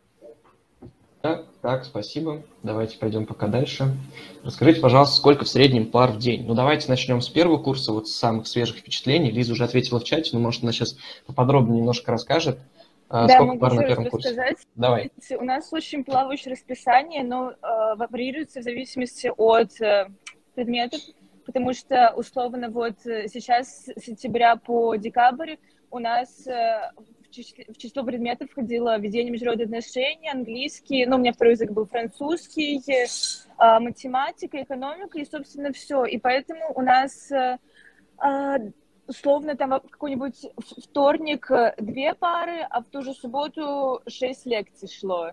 Вот. И в том числе четверг, по-моему, был выходным. Сейчас все предметы изменились, потому что сейчас мы сдали уже на сессии, какие-то предметы уход, какие-то добавляются новые, И вот сейчас, что у меня, у меня выходных, в принципе, нет завершения воскресенья, а, и минимальное количество а, семинаров в день. Это в четверг у нас э, одно МХК, насколько я помню, но при этом у нас э, все лекции в основном сводятся на, на субботу, и как раз-таки в субботу мы учимся там с 9, с 9 утра до 7 вечера. Это достаточно тяжело, но это интересно. И семинары часто разбавляют, например, у нас есть языковые дни, это понедельник и среда, и в, эти дни у нас из предметов вот второй язык, у меня французский, две пары и английский, и все, все остальные предметы, все остальные предметы, другие семинары разбросаны, ну, а, в течение недели по другим дням, и все лекции в один день а, в основном. Но нужно сказать то, что у нас сейчас все лекции идут в онлайне, и, насколько я знаю, а, с четвертого модуля обещали сделать все в офлайне, поэтому, возможно, все переделается и а, их как-то разбросают в течение недели, что будет, я не знаю, расписание а, очень плавающее достаточно.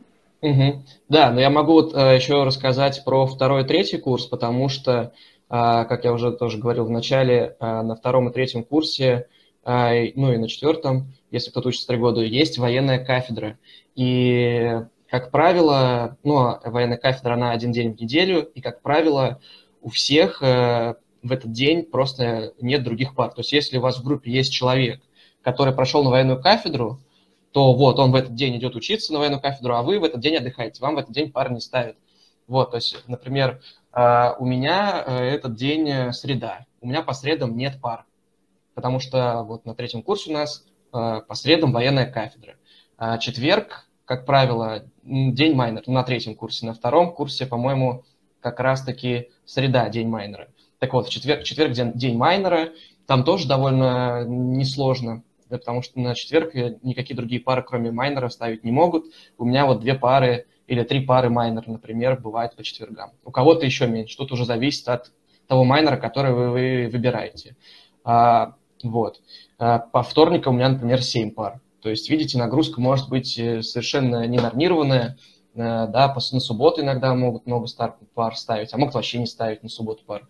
А, вот, то есть э, это просто к этому придется привыкнуть, что иногда расписание будет неудобное, иногда, наоборот, очень хорошее. Вот, Леш, поделись впечатлениями на четвертом курсе, как, как там с расписанием. По-разному, и в хорошем, и в плохом смысле тоже на самом деле. Да, у нас такая тоже студенческая критика расписания пошла.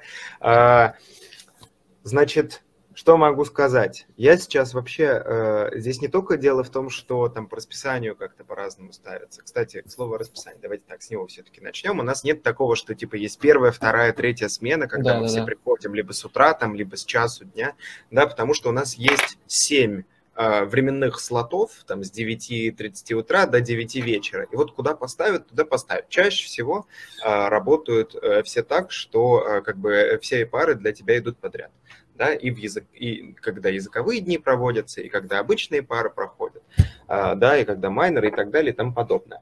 А, вот, но может быть по-разному, действительно. Там, если, например, групп больше, чем преподаватели, то у нас э, проходят, э, ну, тут бывают и окна, э, вот, на полтора часа, например, как минимум, да, на два.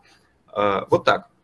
А что касается вот нагрузки, ну, не знаю, у меня вот так получилось, мне повезло, например, на втором модуле у меня была пятница, это был выходной из-за того, что военная кафедра, а на субботу просто не стояла пар, вот, или, по крайней мере, были дистанционные лекции. И у меня вот, помимо того, что в субботу мне нужно было, конечно, подключиться, послушать лекцию, у меня все в остальное время было три прям выходных, и я мог, к слову, о работе, да, насколько можно совмещать, я мог совмещать это спокойно. Вот так.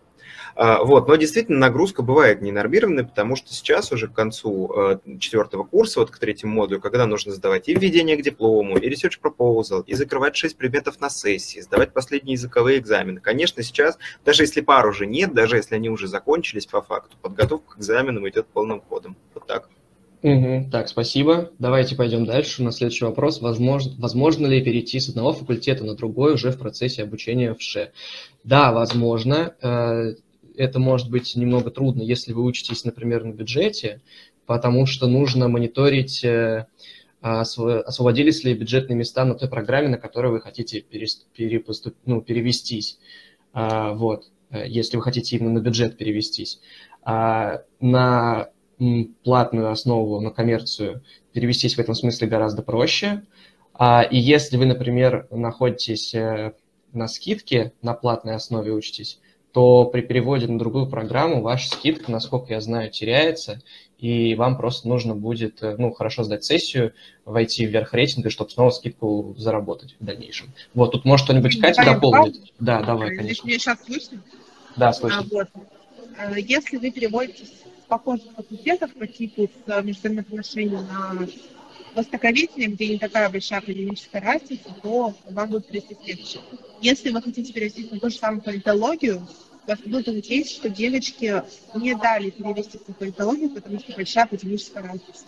И в данном случае, если вы на первом курсе переводите, лучше поступать, чтобы э, не терять те полгода, допустим, которые уже прошли, потому что потом вам будет сложнее закрывать предметы, которые, допустим, начались во втором модуле, сессии, которые будут сдаваться на весенней либо летней сессии.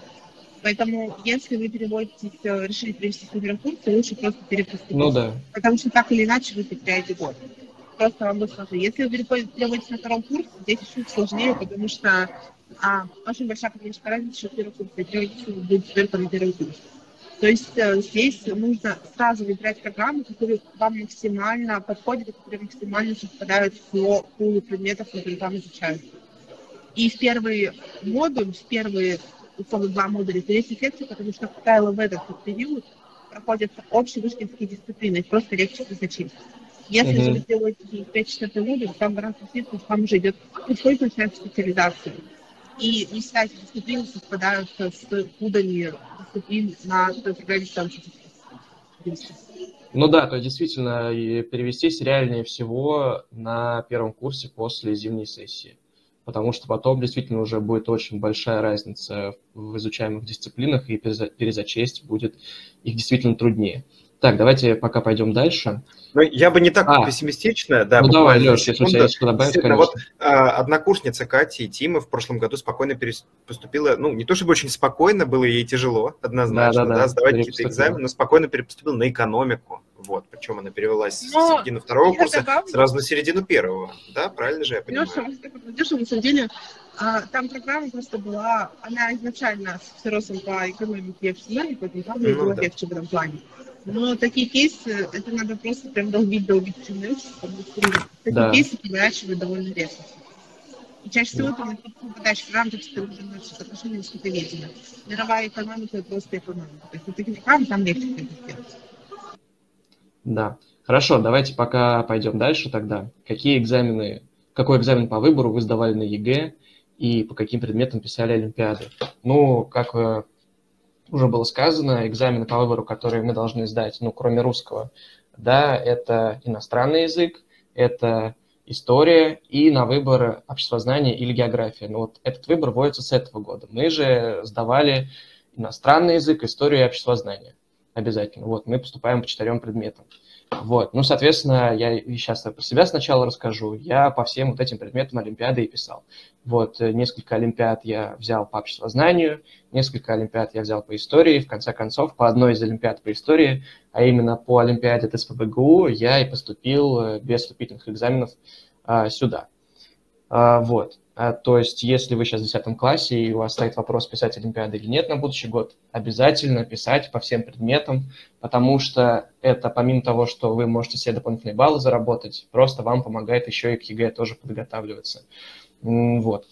Так, ребят, если у вас что-то добавить, можете рассказать про свои Олимпиады тоже. Я могу сказать, на самом деле, что наш опыт сейчас уже не особо релевантен, потому что мы с ним поступали в Лохводу в 2019 году, это вообще был совершенно дикий уникальный конкурс нашей программы. И потом просто существенно сократили те олимпиады, которые были. Поэтому в данном случае ориентироваться, допустим, на текущих второкурсников, третьекурсников не стоит.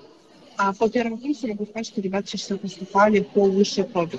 Потому что вот если вы в 10 классе, правда, берите лучше высший проб, потому что это та олимпиада, которая 100% в вышки. Да. И она на самом деле не такая уж сложная, то есть ее решить вполне реально.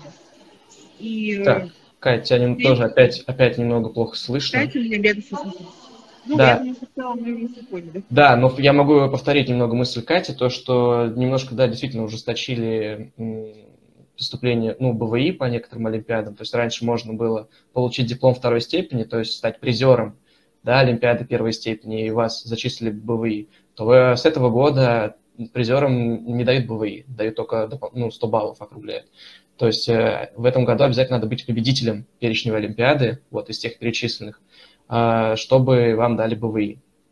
Вот, то есть такая особенность есть. А, э, Лиза, э, Леша, у вас какие-нибудь истории есть про Олимпиады свои? Я могу добавить, да, я писала еще Олимпиады истории мировых цивилизаций. Это как раз-таки всемирная история от вышки тоже Олимпиада. Она дает 100 баллов за ЕГЭ и вы на востоковедении, насколько я знаю, вот.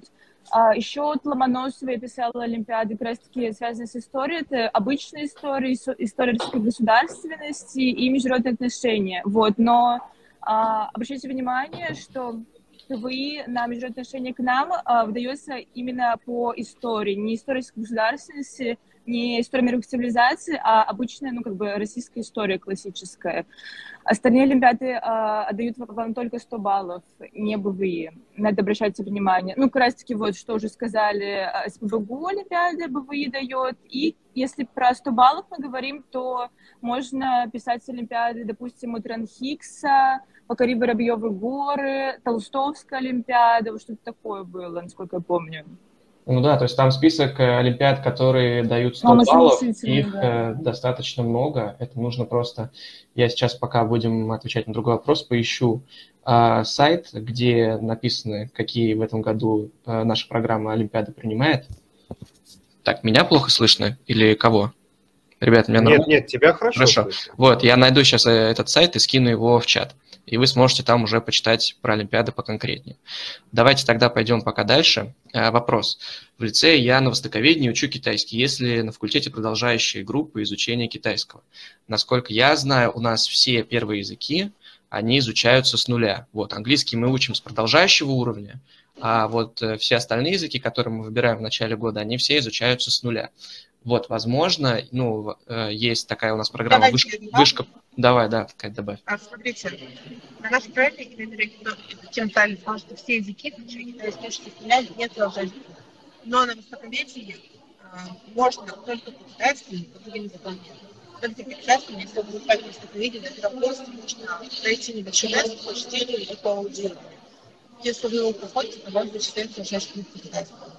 Но на информационном потом нет. Вот, ну да, то есть на востоковедении, но это уже другая программа, вот там есть такая возможность, у нас такой возможности нет. Так, э, скажите, пожалуйста, о конкурсе для поступления на военную кафедру на примере последних лет. Ну, я не на военной кафедре, э, вот, я туда не поступал, я могу вот судить только из рассказов э, своих э, однокурсников, например, и просто из общей информации. Э, я, я уже рассказал в начале, да, что в конце первого курса э, вы сдаете нормативы. Это бег на короткую дистанцию 100 метров, бег на длинную дистанцию 2 километра и подтягивание. А, также вы должны пройти медкомиссию э, в своем военкомате, предоставить справку. И вот на основе, и как бы формируется конкурс. И на основе вот этих ваших нормативов, ваших результатов этих трех нормативов, ну, ранжируется список, кто лучше, кто хуже, и зачисляет тех, кто находится выше. Вот, то есть это как поступление в ВУЗ по ЕГЭ, только это вот поступление на военную кафедру по трем нормативам. А, вот. И вот нормативы, они в первую очередь учитываются. Два года обучения на сержанта, три года обучения на офицера. А, вот, если что-то еще хотите поподробнее узнать, напишите, я потом отвечу дополнительно. Так, какой у нас еще тут есть вопрос? А на все ли направления перечневой Олимпиады действует только год. А что вы подразумеваете под словом «на все направления», не совсем понятно. Если мы говорим про международные отношения, то на международные отношения перечневая Олимпиады действует только за 11 класс. Поэтому, да, действительно, только э, год. Но если вы, например, я так понимаю, поступаете через год, и у вас Олимпиада перечневая за 11 класс, то она будет э, релевантна. Вот. То есть тут э, смысл в том, что вы должны выиграть эту перечневую олимпиаду именно в 11 классе. Вот именно это, что касается нашей программы. Как на других программах э, в высшей школе экономики, я не совсем знаю. Вот, может, э, ребята знают, но у меня таких сведений нет. А, вот, хорошо, давайте пойдем дальше. Длительность результатов Олимпиады именно два года вроде бы, а, но условно, если вы сейчас в 10 классе или идете в 10 класс, вы можете зарегистрироваться и написать за 11 класс, тогда ваша Олимпиада, ну, э, результат этот длится два года, и а, условно, если вы взяли высшую пробу в 10 классе, за 11 класс, вы можете в 11 ее не писать и поступить по результатам как раз 10 класса. Но обязательно регистрируют тогда за 11 класс. Это, ну, это, конечно, схема сложнее, но она работает в том числе. Да, я вот такой, кстати, не слышал. Да, да, да, такой бывает. О, интересно. Хорошо. Базовую математику на ЕГЭ надо сдавать? Ну, насколько я знаю, базовая математика является обязательным предметом на ЕГЭ, поэтому, конечно, ее надо сдавать, но она не учитывается при поступлении. Вот. Так, э, идем дальше. Э, все. И остальные комментарии про то, что Катя плохо слышно. Да, но она просто сейчас находится вообще в другом городе, она улетела там проводить навигатор поступления.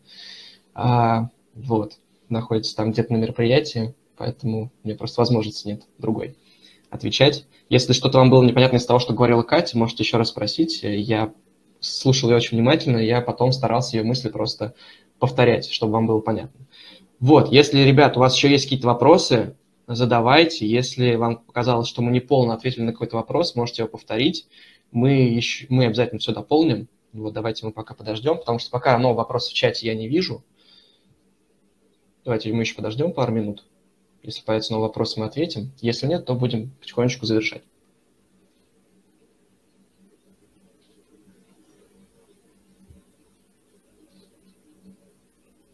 Так, а, возможно, вы знаете, когда будут дни открытых дверей в офлайне по вашему направлению. Это вот у нас этим занимается традиционно Катя. Я надеюсь, сейчас ее будет слышно. А, я тоже надеюсь, меня слышно, что лучше слышно? Ну, уже лучше, да. Давай, ну, вот расскажи. я ушла из шумящего дурдома.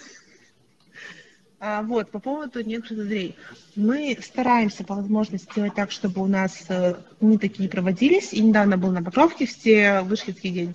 Вот, на факультете пока что только мировая экономика будет. Вот, но есть все предпосылки к тому, что на международных отношениях тоже будут. И помимо этого, даже если будут все остальные некоторые онлайн, а, то будут потом экскурсии, будут потом очные консультации – которые мы проводим традиционно где-нибудь в конце мая, начале июня, и всю приемную комиссию, то есть весь июль и август до момента зачисления. Поэтому подписывайтесь на группу абитуриентов, вот, потому что все анонсы очных онлайн некоторых они будут публиковаться именно там. И если будут также еще образовательные выставки по типу той, которую, на которой сейчас нахожусь я, в Москве такие бывают, то тоже приходите, все анонсы, где наш факультет и наша программа участвуют, мы будем публиковать тоже в группе абитуриентов. Угу. Так, спасибо. Так, отлично, вот появились вопросы, супер. А, какую подработку можно найти на первом курсе? Так, ну я могу про себя рассказать. Например, я работал на первом курсе э, в онлайн-школе э, по разным языкам. Вот, я был куратором. То есть это работа онлайн, она не слишком сложная. Ну, конечно, тоже нагрузки бывали по ней тоже довольно большие, но при этом удобство основное в том, что это все-таки работа онлайн, а, и там нет какого-то конкретного расписания, когда ты точно должен эту работу делать.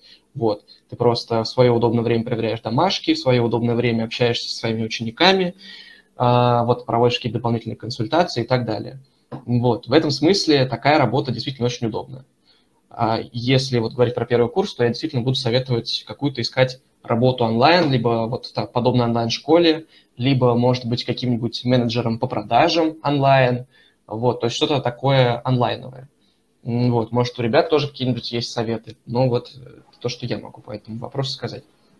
Я могу про себя тоже рассказать. А, я пишу рефераты своим одногруппникам за деньги. Это, ну, не то чтобы официально легальная работа, но достаточно прибыльная. Вот. И если вы считаете, что вы хорошо разбираетесь ну, в той же истории, например, то все, все двери для вас открыты, и одногруппники тоже. Ну да, есть такое, конечно. Тоже встречается. Так, хорошо. А можно ли поменять изучаемый язык в процессе обучения? Ну, на первом курсе точно можно было. в ближайшие там, ну, точнее, в самом начале года. Леш, может... В течение двух недель разрешают. Да, в течение двух недель. Может, ты тоже тут поподробнее расскажешь, если знаешь? Я расскажу, случаи бывают действительно самые разные, да, можно и позже э, это поменять, но, опять же, это будет не очень легально, и вам просто, вам пойдут навстречу. Я вот так это могу сказать, да, действительно, если вы поняли, там, походили месяц, поняли, что арабский при всем желании освоить невозможно, а действительно первые, там, ну, первый год самый тяжелый в арабском, потом уже более-менее ничего, вот, основу действительно освоить тяжело. А, то э, вам могут пойти навстречу. Самый поздний случай, который я слышал, что человек менял язык, это середина второго курса. Вот. Однако здесь следует, ну, как бы, э, это нельзя просто прийти и сказать, все, я больше не хочу учиться на этом э, языке, поменяйте мне, я имею право. Нет, не имеете. Вам просто могут пойти навстречу, если вы очень того хотите. Более того, нужно сделать э, там ряд действий. Скорее всего, нужно будет пройти экзамен по этому языку, то есть предварительные знания какие-то надо уже иметь. Либо, а, если вы переводите в середине года, либо вам могут назначить индивидуальный учебный план. А, но это будет примерно означать, что, ну, там, за несколькими исключениями, если вы, например, не бюджет бюджете, то вам, скорее всего, придется заплатить за то, чтобы этот курс вам назначили учебный план, и вы его проходили. Вот так. Э, да, и это будут за конкретные уже курсы, которые вы проходите по языкам. Но в этом смысле э, действительно э, это все возможно, да, зависит от вашего желания. Как тяжело вздохнул. Просто это я, я знаю, кто менял язык, это тяжелый процесс. Ну да, это правда. Если... Резко, помимо своих экзаменов по языкам, сдать еще какой-то, да, да, да, а еще вдруг нужно все время посвятить тому, что вот ты хотел с французского на немецкий, а по немецкому ты не бум-бум. И что тебе делать, да? Тебе нужно резко выучить там. Ну или у тебя хотя бы там школьная база была, ты захотел упростить себе жизнь. Такие тоже бывают, э, ну, как бы варианты стратегии, да? Угу. Давайте я добавлю, я просто знаю девочку, которая меняла язык, по-моему, три раза, тоже на втором курсе, но это тот случай, когда... Меня слышно? Да. Отлично. У меня просто уже наушники устали. Вот, но это тот случай, когда, как Леша сказала, пошли навстречу, потому что на самом деле не рекомендуется прыгать вот так вот по языкам. И если вы не уверены, то просто перед началом обучения две недельки в августе потратим то, чтобы просто посмотреть грамматику, чтобы что-то послушать, а почитать, спросить у тех, кто уже учит язык, опять же, у кураторов – вот, чтобы потом не бегать по учебке, потому что на самом деле не очень любят, когда так меняют языки, потому что преподаватель уже начинает работать с группой и начинает закладываться основы. И когда человек приходит, допустим, спустя два месяца после начала изучения немецкого на французский, то, конечно, преподавателю надо будет с ним заново работать, ставить всю фонетику, а это очень трудоемкий процесс. Поэтому лучше здесь вот э, не делать так. И я могу ответить сразу на следующий вопрос. Там я вижу от Владимира по поводу Воронова и мероприятий. Да, давай. Да, такие мероприятия проводятся, чаще всего проводятся в партнерстве со школами, у которых непосредственно с вышкой есть договоренности. Вот. Есть связные мероприятия Воронова для лицеистов. У лицеистов есть специальный вообще факультетский день, эти мероприятия проводятся. Вот. Но, возможно, мы факультетом сделаем какую-нибудь игру, сейчас разрабатываются наши собственные игры для абитуриентов, да, для школьников. Вот, но пока что гарантировать можем. Опять же, если такие мероприятия будут проводиться, то мы все это анонсируем в нашей группе но пока что вот мы работаем в формате онлайн-турей. И я сразу отвечу про историю. Все эти предметы, которые вы увидели э, в презентации, все эти предметы, которые обозначены на сайте, нужно сдавать. И историю, я что знаю, либо географию, и иностранный язык, русский язык. Без истории на международные отношения поступать на самом деле смысла нет, потому что ее очень много. И если да. вы не знаете историю, вам будет очень тяжело. Поэтому это вот та база, которая должна быть у всех. Поэтому ориентируйтесь на то, что указано на сайте программы в первую Нет, на самом деле есть исключения, когда историю действительно можно не сдавать. Это если вы поступаете по э, Всероссийской Олимпиаде школьников, например, по обществознанию или по географии. Вот в таком случае вы можете сдавать эти предметы, ну, точнее, историю. Или если вы поступаете БВИ по обществознанию, например. Вот, тогда вам достаточно будет сдать обществознание на 75 баллов и выше, а вот э, историю можно будет не сдавать. У нас э, в мой год были ребята, которые, например, не сдавали, э, ну, которые поступали БВИ по Олимпиаде и не сдавали, например, английский. Вот, так, то есть так действительно можно сделать, но Катя верно заметила, у нас, очень, много, у нас очень много истории, да, и без знания истории, просто без базового понимания, как историю изучать, да, без каких-то основных исторических процессов, тут действительно будет тяжело. Особенно там на первом-втором курсе это будет, правда, очень нелегко. У нас а... как раз, я добавлю девочку, про которую рассказывала Леша, которая перевелась на экономику и статистику. с нашего направления, очень такой необычный свич, она как раз таки не сдавала историю и не очень хорошо ее знала. Ей было очень тяжело, и буквально человек из-за этого возненавидел всю программу. И поэтому вот в избежание таких случаев лучше заранее смотреть все учебные планы, заранее uh-huh. знакомиться с сайтом программы, читать, спрашивать кураторов, да, там читать нашу группу. Ни в коем случае ее не пиарю. А, вот. И в целом внимательно э, слушать то, что вам говорят на некоторых дверей, потому что мы делаем максимально все, чтобы вы потом не пришли и не сказали, боже, куда я поступил. Да. Потому что такие случаи тоже бывают, и просто вот э, сейчас мы особенно усиленно работаем над контролем, чтобы абитуриенты, ну, был меньше процент тех, кто ничего не знает о программе, и потом из-за этого буквально ненавидит факультет и руководство просто потому, что вовремя не прочитал ничего, никакую информацию. Поэтому такие дела. Да, ну вот, то есть девочка, да, наша однокурсница, бывшая, про которую сказала Катя, действительно, она поступила на программу по Всероссийской Олимпиаде по обществознанию. Вот, она, она стала победителем по обществознанию, и поэтому историю не сдавала. Вот, то есть все-таки такие пути обходные, они как бы есть. А так, если вы поступаете по ЕГЭ или на коммерцию, то историю, конечно, сдавать обязательно. Так, где планируете проходить стажировку? Вот, ну давайте тоже этот вопрос адресуем уже Леше, как четверокурснику. Так, давайте, а, смотри, давайте. Те, а, вот, Мария, что вы имеете, э, так, нет, Александр, что вы имеете в виду под э, словом стажировка? Потому что действительно максимально широкое слово, смотрите, стажировка есть вот практика производственная, она на четвертом курсе проводится. Я сейчас найду ссылку на такое э, место, где я буду проходить практику как раз в апреле. Вот сразу скину, на самом деле, ну, просто что, что бывает, да, вот этот центр анализа стратегии и технологий, место, где прохожу практику я в апреле, и еще меня взяли на май и июнь, на три месяца, чтобы я чему-нибудь еще научился. Но вот, тем не менее, это такой военный э, аналитический центр по вопросам безопасности, да, по вопросам экспорта вооружений. Сейчас это тоже актуально достаточно, и можно чему-нибудь научиться. А, вот. А, это если стажировку, под словом стажировку понимать производственную практику, где я прохожу да, перед дипломом, куда-то я иду.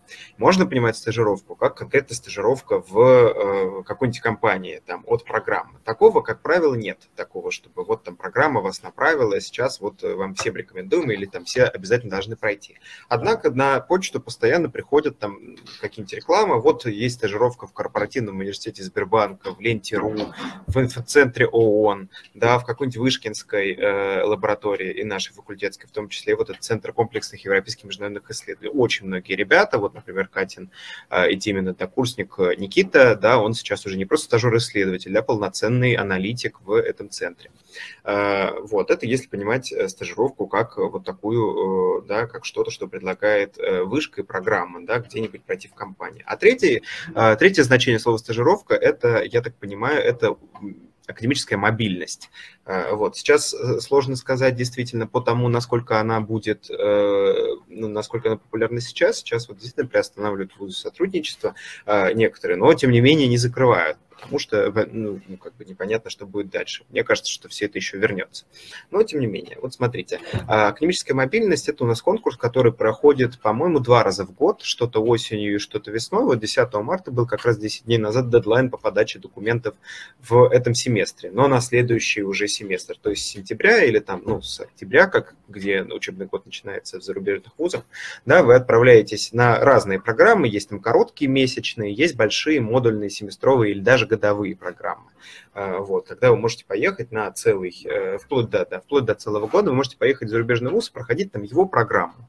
Вот а, программу по смежной, разумеется, специальности. Вот у меня э, ездила моя знакомая, ездила в Японию на целый год, э, вот как студентка востоковедения, она ездила туда. А моя одногруппница по немецкому ездила в университет в Карлсруэ и провела там месяц весь, э, весь не, не месяц, а весь второй семестр э, третьего курса, то есть э, полгода.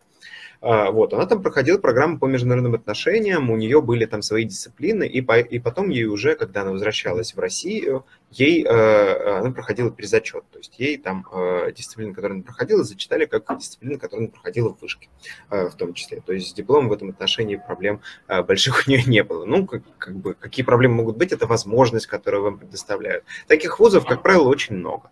Вот, при этом подаваться можно не только от студентов там, программы или факультета, да, предложение распространяется на все вузы, которые, там, с которыми вышка заключает договор. Ну и с программами тоже в частности.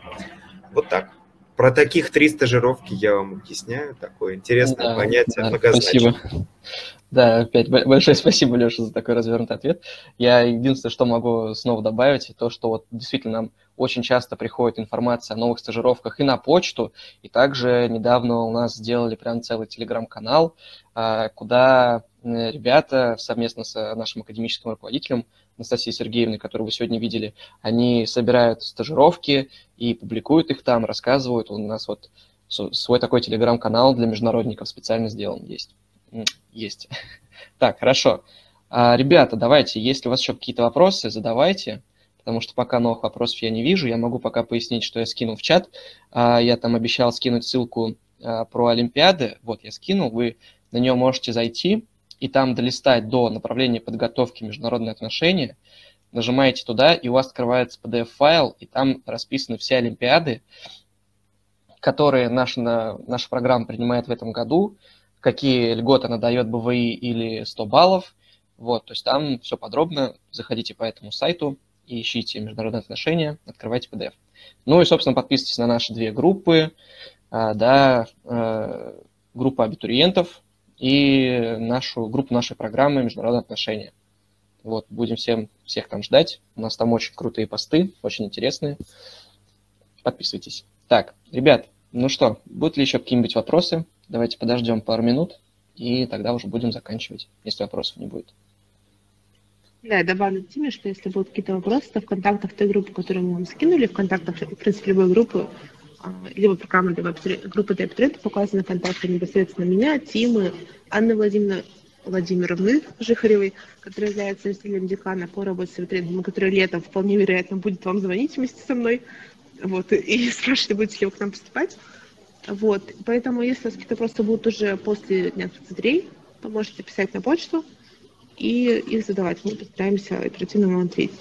И 10 апреля тоже будет день благодарей нашей программы тоже онлайн, поэтому если какие-то вопросы останутся, заново захотите презентацию или что-то еще, то тоже приходите, мы будем рады вас видеть. Да, и если у вас вообще, в принципе, какие-то вопросы будут появляться, вы можете найти вот Катю в группе абитуриентов, меня в группе международных отношений. И, ну, поскольку мы эти группы ведем, а, администрируем, можете нам писать э, в личные сообщения или в сообщения группы по любым вопросам, которые будут у вас появляться. Мы с радостью на них ответим. А еще можно воспользоваться поиском по группе, по стене группы, потому что там очень много полезных постов про скидки, и эти посты актуальны, потому что, в принципе, база информации вся осталась неизменна.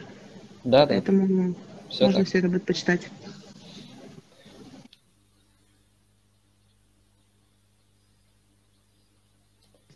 Ну, я думаю, что, в принципе, вопросов уже больше нет. Ну, в принципе, да, ребята, уже все, можем завершаться.